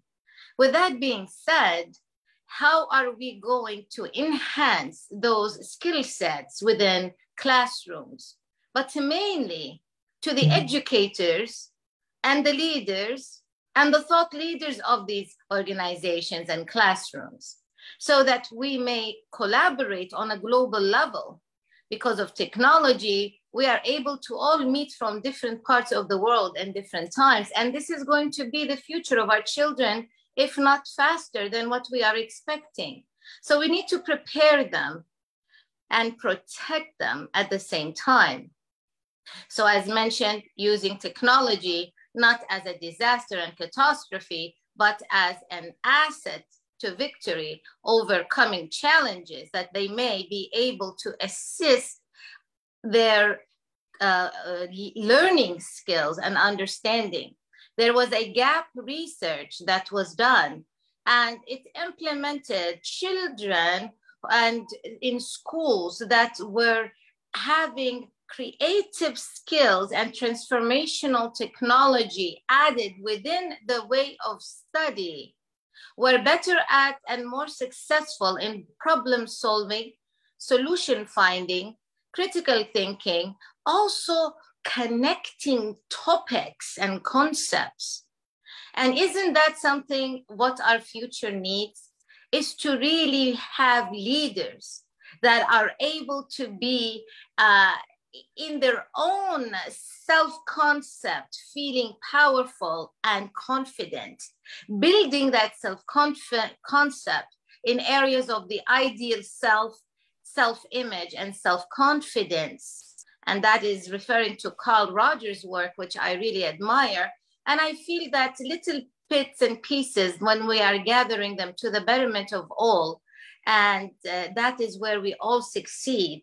Uh, cultural intelligence, cultural harmony, creative and curiosity intelligence, to really encourage that, to replace fear and anger with curiosity, to have those as really taught uh, values so that the children may feel psychological safety when they tap into that. because the mind works in patterns and association and linking. So when we are able to provide tools that is going to make it more accessible, easy, that supports that feedback is always positive, that failure is only feedback, then we may grow to other levels faster, easier, and more connected. I don't want to take much of anybody's time, but I do like to end with a quote from Dr. Edward Bono, who was the father of lateral thinking. And it says, There is no doubt that creativity is the most important human resource of all. That without it, there will be no progress and we will be forever repeating the same patterns. So I encourage every one of us to really find a common denominator in areas of collaboration, including countries and governments, to cross educate the youth and the educators through summits like this and real life events to act to bring the practical part of actually having that experience that will allow us to pivot in a very good and sustainable way. Thank you and many blessings to all of you. Namaste. Uh, thank you, uh, Dr. Sophie Niban. Uh, you have clearly highlighted about 21st uh, century skills. Uh, really, your deliberation was very much useful for the younger generation. Once again, I convey my sincere gratitude to you. Next, I call upon Dr. Bob Chott, cognitive neuroscientist, USA. I request Chott to share his views on future education. Great, thank you. and every one of the speakers here have given the the different different parts that's that's necessary in order for the future of education to be able to move forward. And i'm going to add in my part. And and i'm going to be talking about positive psychology and flow. And really an important component of that is engagement. Four years ago i interviewed a, a young lady on my podcast and what she did in terms of innovation really, really intrigued me. Her, her name is Samaira Mehta, and she created a board game called CoderBunnyz. It's it, and it's not a game that's on on computers and everything, but it's a it's a, an actual board game that teaches young kids to senior citizens how to computer code. And it was really, really a, a, amazing in terms of what she did. And and about three years before that, she started prototyping her game, and and then she she would test it, test it, test it, and, until she ended up per, per, per, perfecting it. So the year before I interviewed her, and this is about five years ago, she was recognized by then President Obama, by the city of San Francisco. She teaches computer programming in workshops around the San Francisco Bay Area. An amazing uh, lady. And she also was a keynote speaker at, at the Women in Tech Conference. And since then, Samaira's been featured in Time Magazine and in Vogue Magazine in India. She's an international keynote speaker. Her initial company is a multi-million dollar company. And I'll get more in terms of, uh, of, of about her at the end. But I want to get into flow. So the founder of Flow, the guy who actually created the, the concept of it, uh, is a, a, gentleman of uh, Mihai Csikszentmihalyi. If you were to look at his name, it'd be very, very hard for you to actually pronounce. But she, but he's been involved in Flow for over 50 years. Sadly, this past week, Mihai passed away, and and it, it just kind of broke my heart uh, finding out about that. But his research has now moved forward. There's been other people like Steven Kotler who's been able to move it forward and, and more. And the, the, the concept of flow is about engagement. It's about getting people focused. And and, and and a way flow works, and you may have heard of like being in a zone or in a state of flow. So flow state is is that avenue, that specific avenue right in this area between anxiety and boredom. So boredom being on a low part, anxiety being on a on, on, on high part. And and in order to engage in a flow, you have to have challenges. Very important. What Samaira created in her board game was a series of challenge to take a person from where they're at to the next level, to next level, to the next level. And while we are in, in the state of flow, there's specific neurochemicals that are actually created. And those neuro- neurochemicals, uh, norepinephrine, so that, that's a, a stress hormone. Yet with norepinephrine, it, it engages the the area of of um, concentration of being highly focused.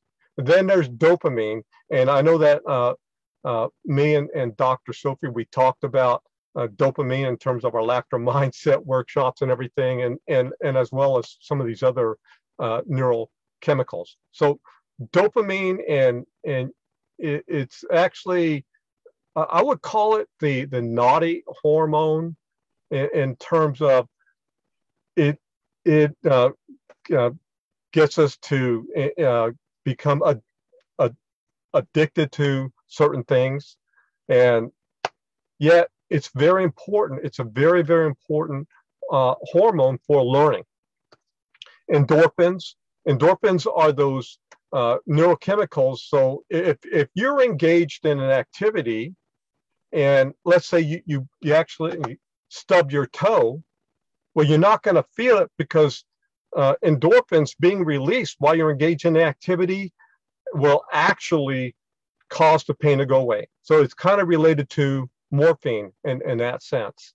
And then there's uh, then there's oxytocin. So oxy- oxytocin is the bonding hormone. So this is like when people are engaged and they're very close. So we see this with with couples, especially r- right at the beginning, and and then the next one is serotonin, is also known as the romantic uh, hormone, but it's very very important uh, component of flow.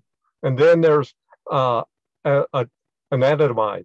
So th- that is the the uh, neurochemical that helps us to uh, uh, stay like it's an anti-anxiety hormone, should I say.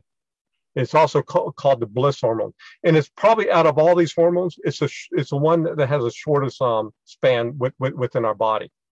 So, in the state of flow, when you have all these hormones coming in together, that's when you start creating maximum flow. It's also the maximum state of learning. This is the most highly engaged part. When we can create flow in the classrooms. We're going to have the most engagement of of anything that that that that we do. Going back to what Samaira created in terms of games, and there's been talk here about people playing video games and everything like that. Why do people stay engaged in video games? Why do they uh, eliminate all the distractions around them and they're so focused in terms of, of the video game itself? They're engaged in a state of flow they're leveling up, they're leveling up, they're leveling up, they're leveling up. They're being challenged at next level, next level, next level. There's there's an area called gamification. So gamification is about taking game technology, like video game technology, taking game technology and applying it into our, our, our lives. So whether it's at work, whether it's in our educational system, and so forth. When we can gamify our education, and challenge these um, children to go to that next level. See, they may be bored or they may be too anxious. We have to really understand the um, kids in a classroom to to start to engage them in uh, much much more. Because if we don't engage them in terms of of what we're we're teaching, they're going to zone out. They're going to be distracted. They're going to grab their smart device because they're you're you're, you're not challenging enough as when this thing goes off, it releases uh, dopamine into the body. So what are they going to gravitate towards? That they're going to they're they're going to go here, there, there, everywhere. And we have the pseudo um, ADHD that's being created by uh, these devices and and then uh, social media and more. So what we need to do is is now use the process of, of gamification to get uh, children engaged in a state of flow, and and I, I can guarantee you when you start doing that, they're they're going to be really uh, wanting to learn more. When they're in a flow, they will be learning. When you engage them, they're going to want more and more and more and more uh, within that. Now, getting back to Samaira, and I told you that she has her first company, Coder Bunny. She now has two other companies. She has another game company, and then also she uh, teaches entrepreneurial education on, on, on top of that. And I told you that I interviewed her four years ago, and she started prototyping her, her game about seven years ago. Well, how about if I told you that recently Samaira turned 13 years old and that she started prototyping her game at six years old. And when I interviewed her, she had just turned nine. And what that tells me is that our our children, when you can engage them, they're willing to take it to the next level and they, they'll become the creators in our society. I interviewed her parents, and they're both from India, even though uh, they live up in the San Francisco area. They're both from India. Her father's an engineer, and her mother has an MBA. And Samaira hired her mother from from a, a top tech company in the Bay Area to become her business advisor. So, uh, again, I know that uh, this this may have been a little surprising when I uh, I talked about Samaira being so so young in terms of what she's doing, and yet when you can engage and you allow the children to have a sense of autonomy as well. They need to have rules and in flow. There's always rules set in place, eh, but there's goals they're going after. So you have the goals. So when you can have children doing that, but don't take away don't try to control them like traditional education has done, but allow them to flourish. Very important part of positive psychology is being able to flourish. When you allow them to flourish, they're going to grow, they're going to blossom. And that's exactly what her parents allowed Samaira to do. And she blossomed to such an amazing girl who's recognized worldwide now. So uh, I'm going to leave you with that, and, and you can look her up, Samaira uh, Mehta, and and she's she'll uh, actually grab your heart as well. Thank you. Uh, thank you, Dr. Bob. Uh, uh, thank you so much for your uh, time and support to make this event a mega success. Next, I call upon Shanti Suliara, educationist from Greece, to share his views on education. Hello all. Uh, once again, nobody can pronounce my name. My name is Xanthi Houliara. I'm from Greece. but it's okay. I get used of it. Um, uh, the main reason I'm here is uh, to share uh, with you some important issues because we still have Corona 19, if even uh, if uh, even no one of us likes it, but it's here. What that means? That means that we had a lot of lessons for the challenges faced, for example, by the Greek Ministry of Education in my case, but uh, from many ministries of uh, education from all over the world.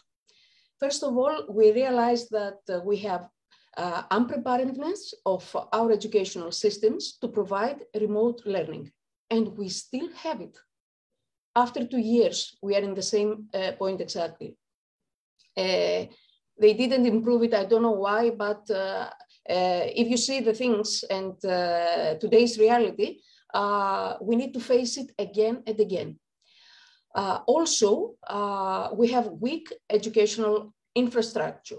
Even if we don't like it and we need to, to, to provide things that in a better way. Inequality in accessing the internet and uh, also teachers' unpreparedness to switch to remote learning. I'm a primary school head teacher and I know very well how it works and how many of those uh, challenges uh, we had to face the, those last years, two last years. Uh, to achieve this uh, transformation, uh, this is the only way uh, to get rid of all those problems. we should exert effort to, first of all, to capitalize on IT. Uh, secondly, to provide training for teachers. Uh, then to review assessment methods, not to keep the old ones. Uh, today's reality is different, so we need new ones. Uh, to engage in a comprehensive digital transformation, uh, build effective partnerships, and this is the most important part, unlearn the old educational strategies and relearn uh, in order uh, to be in line with uh, recent developments as well as with labor market requirements. We need to follow today's reality. Also, uh, COVID-19's global impact on education, uh, in a few words, is, uh, according to UNESCO's research during 2020, in the short term, the positive uh, impact, increased attention and appreciation to distance learning systems. It was uh, uh, something that we didn't know it, the most of us. Uh, growing appreciation and understanding for teachers' role in the community and provision of technical development opportunities related to distance learning for teachers. Uh, in Greece, most of the parents, they say that now we understand your role because we had to guide our kids at home how to follow your lessons. Usually they think that it's a work, okay, everybody can do it. No, it's a very difficult role. And now all the teacher, all the uh, parents, they know how it works. Uh, establishing regional and international partnerships in the field of technology. We had a lot of time to use technology, so we did it. Uh, the negative Im impact uh, in the short term is that uh, the existing uh, gap in uh, distance learning implementation on a national and international levels. We have that gap, we have to accept it. Variation of students' academic attainment based on the ability of educational institutions and countries to provide distance learning we didn't have equality. Not the same uh, chances of, and opportunities to everyone. Also, negative impact on students, teachers, and parents' quality of life during lockdown. A lot of family fights, a lot of family problems, a lot of financial problems, and of course, a lot of educational problems. Uh, in my school, only the 60% of our pupils had uh, the chance uh, to uh, uh, participate in our online learning. All the others, they had to stay back and to wait till the day that our schools will uh, uh, open again. This is a huge damage to our educational system. And it's only one of the millions schools. In the long term, uh, the positive impact is increasing the scope and uh, reach of education to all segments of society, redefining the role of schools and developing assessment policies. Uh, for example, in Greece, it's the first time that uh, they are trying to build uh, an assessment policy. Let's see what is going to happen. Developing innovative models for higher education and preparing students for new jobs establishing partnerships between the public and private sectors. A good and uh, impressive uh, exam is Erasmus Plus projects. They created bridges before, uh, between uh, the public and the private sectors. And uh, till now, um, it's a, great step of uh, our educational system in a national, European, and international way. The negative impact in the long term is uh, the possible inequality related to educational services provided to students. Uh, decreasing academic attainment in countries that uh, lack uh, uh, technological means to provide distance learning. For example, uh, we had a lot of students that they had to drop out universities because they didn't have the financial efforts Uh, to uh, follow the new reality of COVID-19. And uh, can you imagine what happened to doctors? they had two years to study uh, medicine uh, from distance. How to touch a human body without to practice on it. It's very important. We have to rethink it. Difficult, difficulties in measuring uh, learning outcomes due to undeveloped student performance assessment systems. Uh, to be honest, I don't, I'm not sure if they know uh, all the damages uh, we had. Every day we realize a new one. Uh, COVID-19 disruptions and the future of education, a really important part. An opportunity to address long-standing disparities in access and participation. Also, an opportunity to reframe the right to education. We need to think a lot about it. An opportunity to rethink learning contents, methods, and spaces. We cannot go to space with a donkey but they demanded from us as teachers. They said, open, turn on your, your computer and do miracles. It doesn't work like this. We need to have the method, we need to have the training, we need to have the tools, we need to have the support.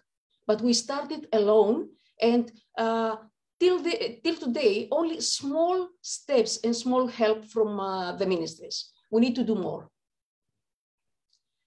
Lessons learned from the challenges faced during the pandemic uh, about technological part.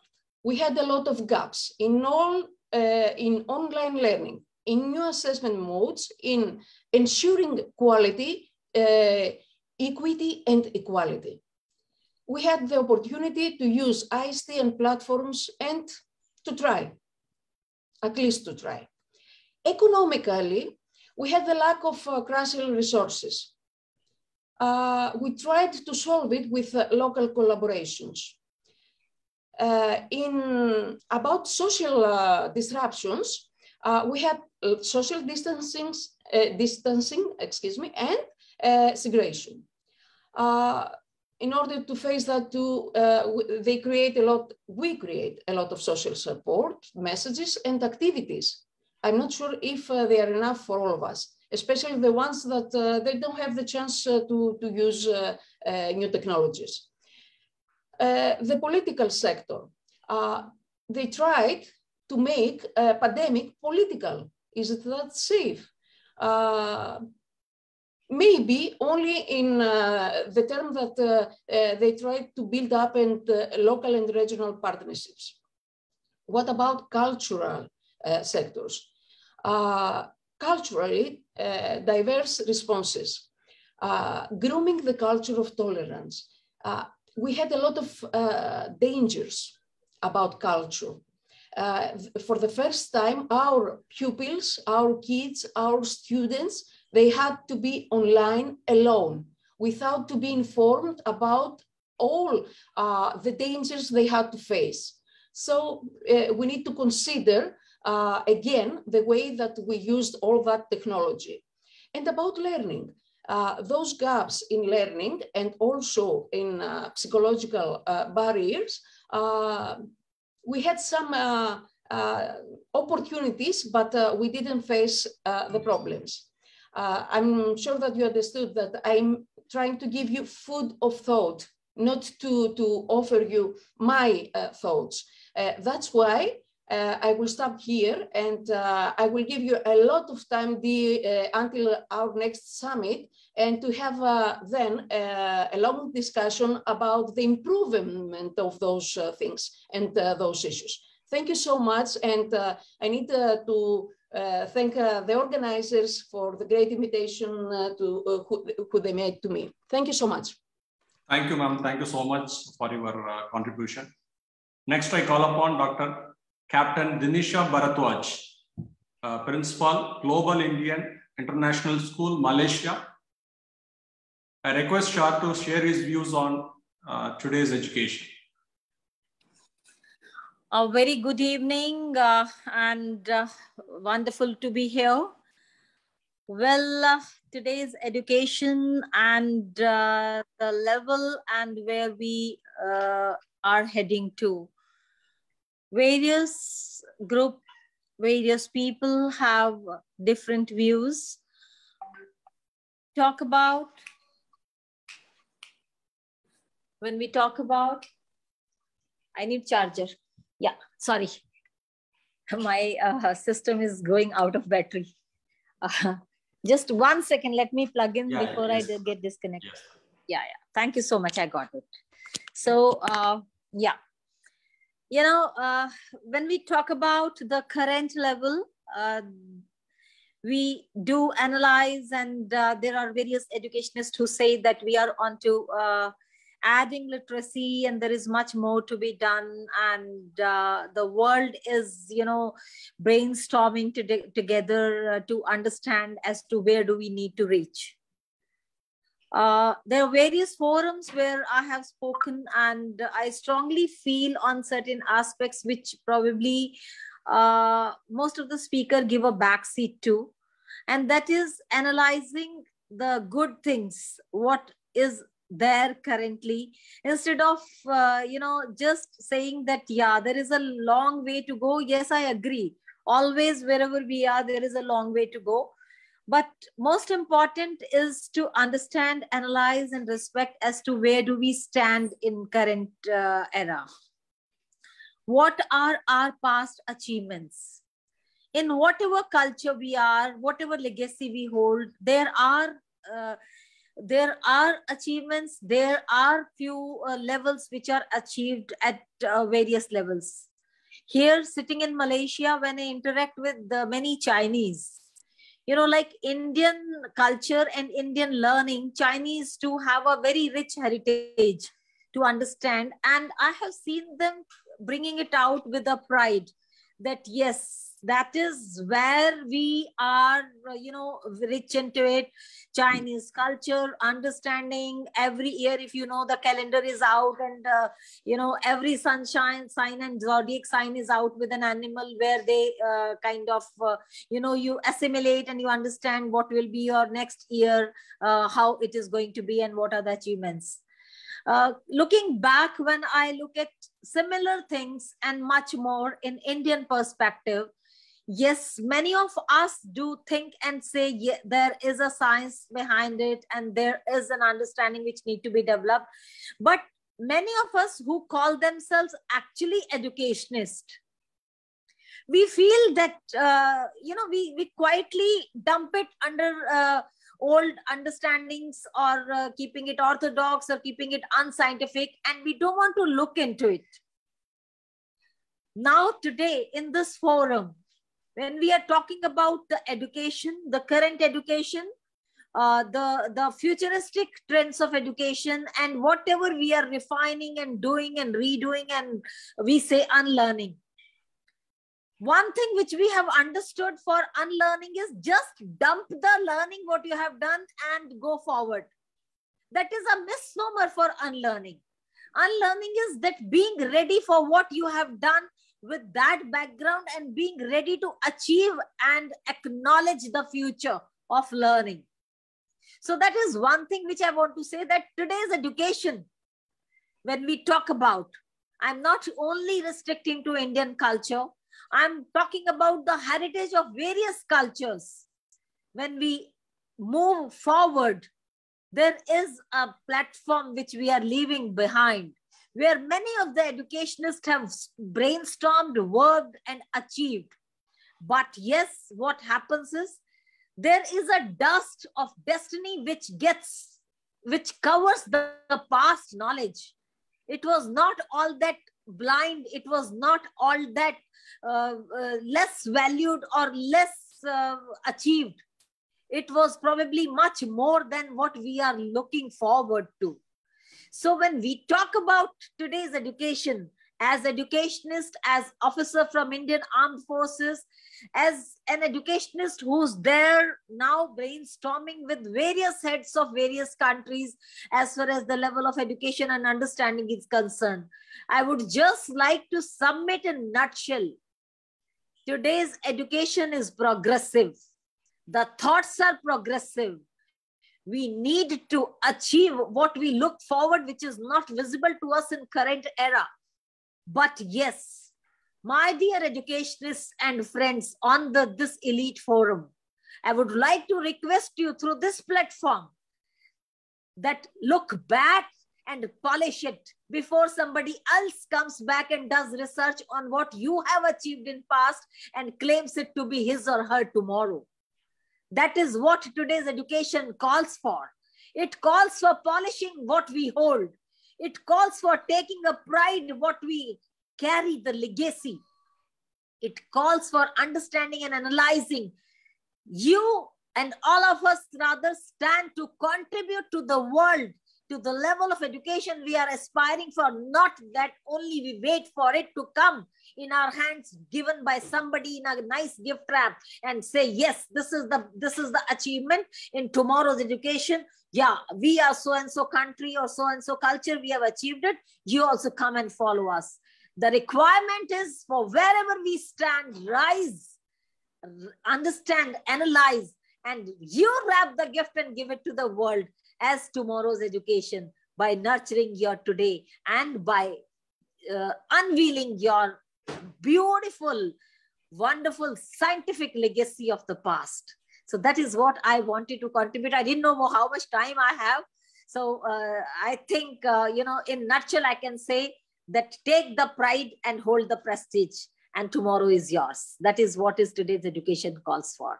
Thank you so very much. Thank you so much, ma'am, uh, for accepting our invitation. Uh, you have rightly uh, pointed out the power of uh, learning and relearning. Thank you so much for highlighting that uh, two important terminology, which is really required for uh, today's education. And next, I call upon Dr. Priyadarshi Nayak, a founder, GTEF India, to share his views on present education system. Dr. Priyadarshi Nayak.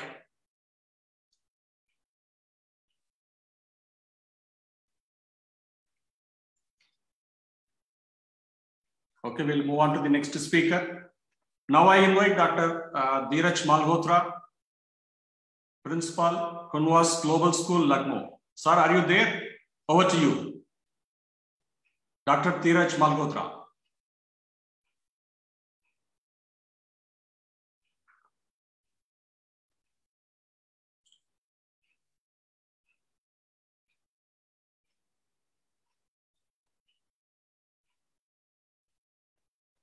I think Sir left the room, it seems. Uh, next, I call upon uh, Dr. Uh, Jitesh Khanna. So thank you so much. I call upon Dr. Jitesh Khanna, philanthropist from New Delhi. Sir, over to you. Thank you so much. Um, first of all, my heartiest congratulations for hosting such a wonderful uh, uh, forum. And um, I, throughout the forum, was continuously listening and learning as much as I could, and was um, it was very enriching, very different point of views and stuff. Uh, I will keep it very light, like I always do. Uh, and first and foremost, a lot of heavy things were talked about education and education policies and the future of education. Uh, in fact, one of the speaker went ahead and talked about nationalistic education, um, and I really appreciated uh, his point of views. Um, my my point of view that I wanted to put forward, and uh, in a very short, um, in a, I'll take a very small uh, this thing and I'll share it, is that we need to really move on even from the nationalistic point of view to internationalistic point of view. So we have to understand that we are telling our children to be nationalists, which is wonderful, and I'm a nationalist, and I really have this legacy that I have. uh, and I believe in um, this uh, this idea of, of India. But you know what we really need to see in future is that our children are are they transcend the barrier of caste, culture, religion, and race. That's how they will learn. That's the most beautiful way to learn because as long as we are not connected with uh, the world all around us and we are not able to nurture and cherish it, we will not be able to understand education. Now, there are a few small points that I wanted to, because almost everything was taken care of in this, this white session. The few points that I wanted to get back to. Um, and uh, these points were something that a lot of people here in this session would believe with me. So education is not only about uh, creating great minds and creating great, uh, you know, to helping them find work or probably expanding their mind and stuff like that. Well, education goes much, much more deeper. You know, education is, is basically about igniting the flame. You know, it is about igniting the, the flame of passion, the desire, you know, uh, in the heart of a student. It is, it is basically, you know, helping a child get in touch with his own culture, see a different perspective of life. You know, education makes us free. Now, we have been talking about uh, different technological uh, breakthroughs and, and, and softwares and systems that we can use to enhance education.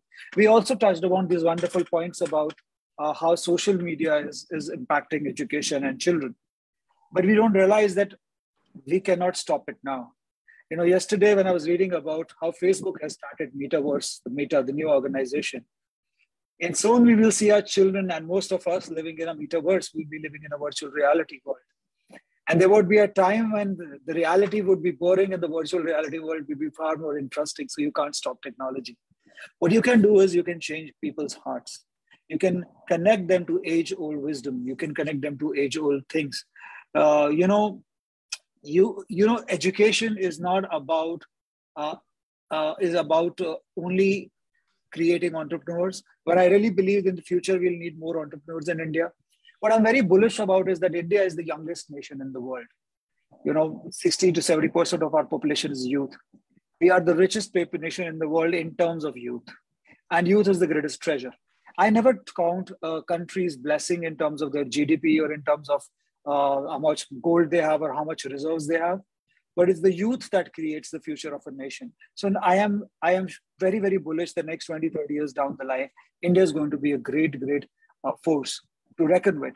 Having said that, when I was listening to the entire session, I just realized that we were just primarily focusing on different pedagogies. We were primarily focusing on different uh, data that was coming to us. We were primarily focusing on, uh, um, you know, um, uh, softwares and and and, uh, and and and you know, and people who are doing innovation in terms of business.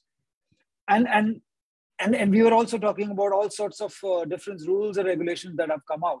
But if you notice, the more rules and regulation come out in society, the more crimes are happening. You know, even even if you see in traffic violations, the more stricter the stringent the laws are, the more violations you see. It is because you have to fundamentally change the hearts and minds of people.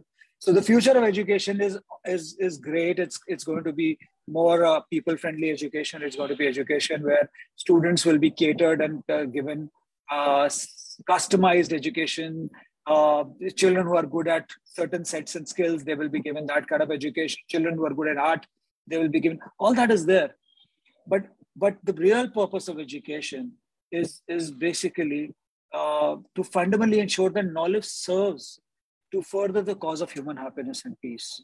So if education cannot bring people together, if education cannot make loneliness go away, if education cannot create better human beings, there is no point. Uh, why I touched upon this point was because after listening to so many wonderful people, um, I really felt that there's nothing left to speak about. But the only point that was missing was that we were not talking about humanistic education. And humanistic education is extremely important in a divided world that we live in now. Now, all the data that I get, all the news that I get, all the information that I get, and I consume tons of information every day, just like others. I have realized that the world is getting divided more and more.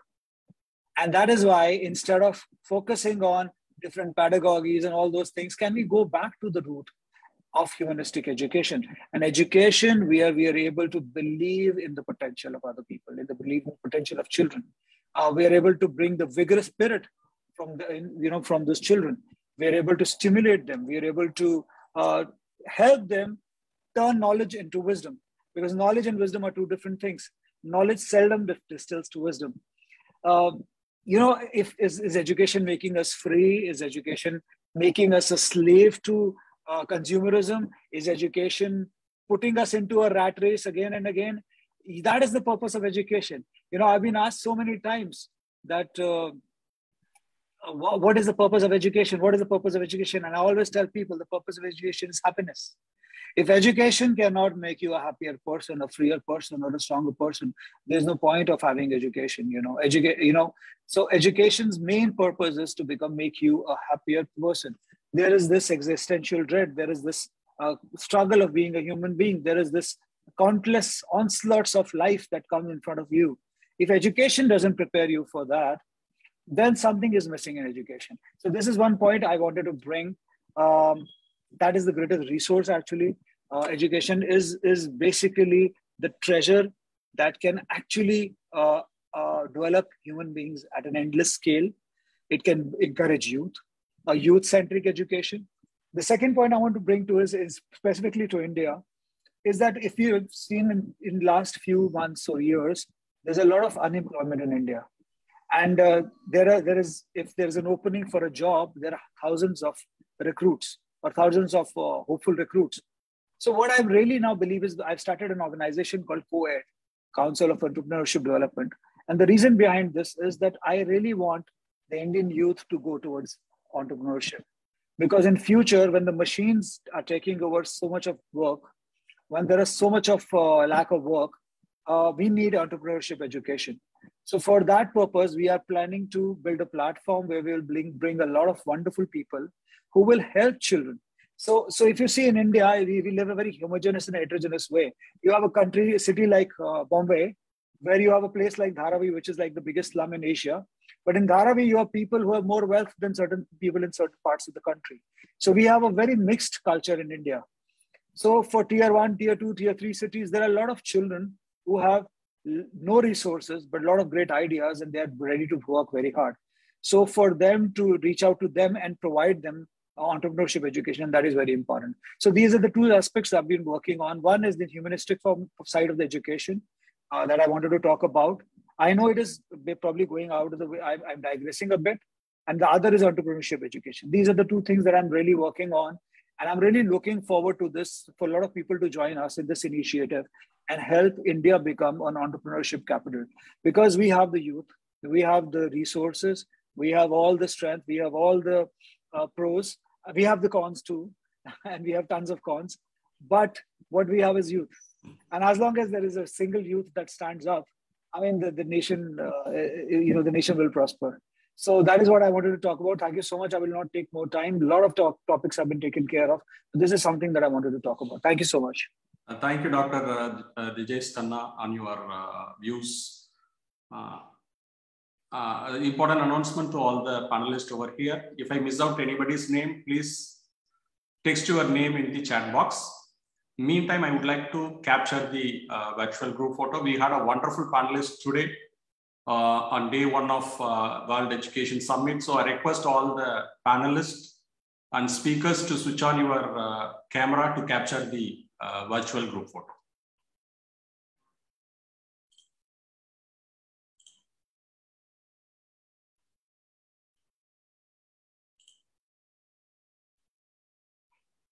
If I miss out anybody's name, please text your name in the chat box.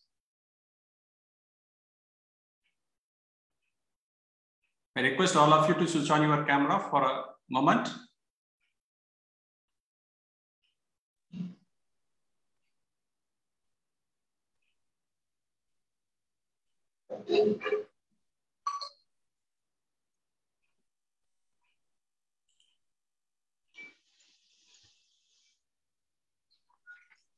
We have seen one name in the chat box.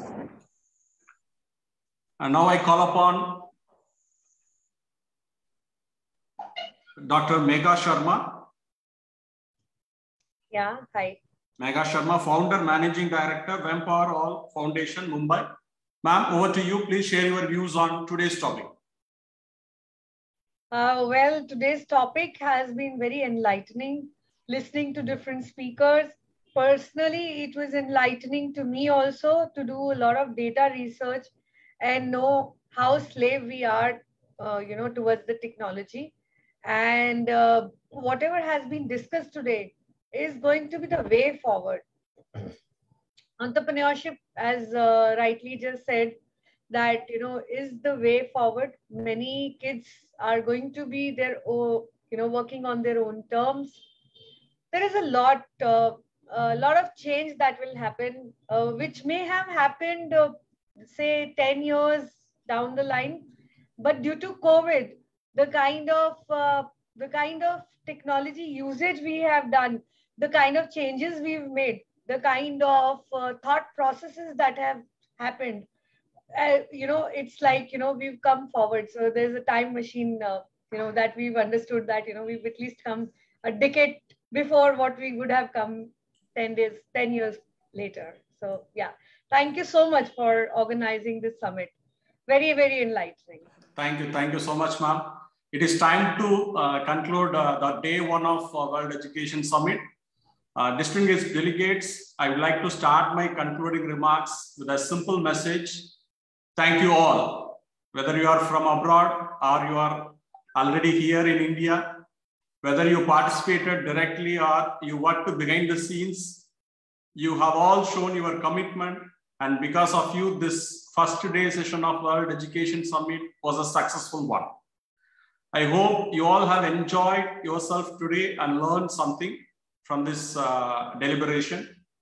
Thank you all again for being here and I encourage you all to stay connected with each other on the road ahead. We'll meet again tomorrow at 6.30 p.m. for the second day session of World Education Summit 2021 with the different panelists. Until then, take care, goodbye, stay safe. Thank you. Thank you. Is the group photograph done? Yes, sir. Yes, sir. Okay. Thank you. Bye.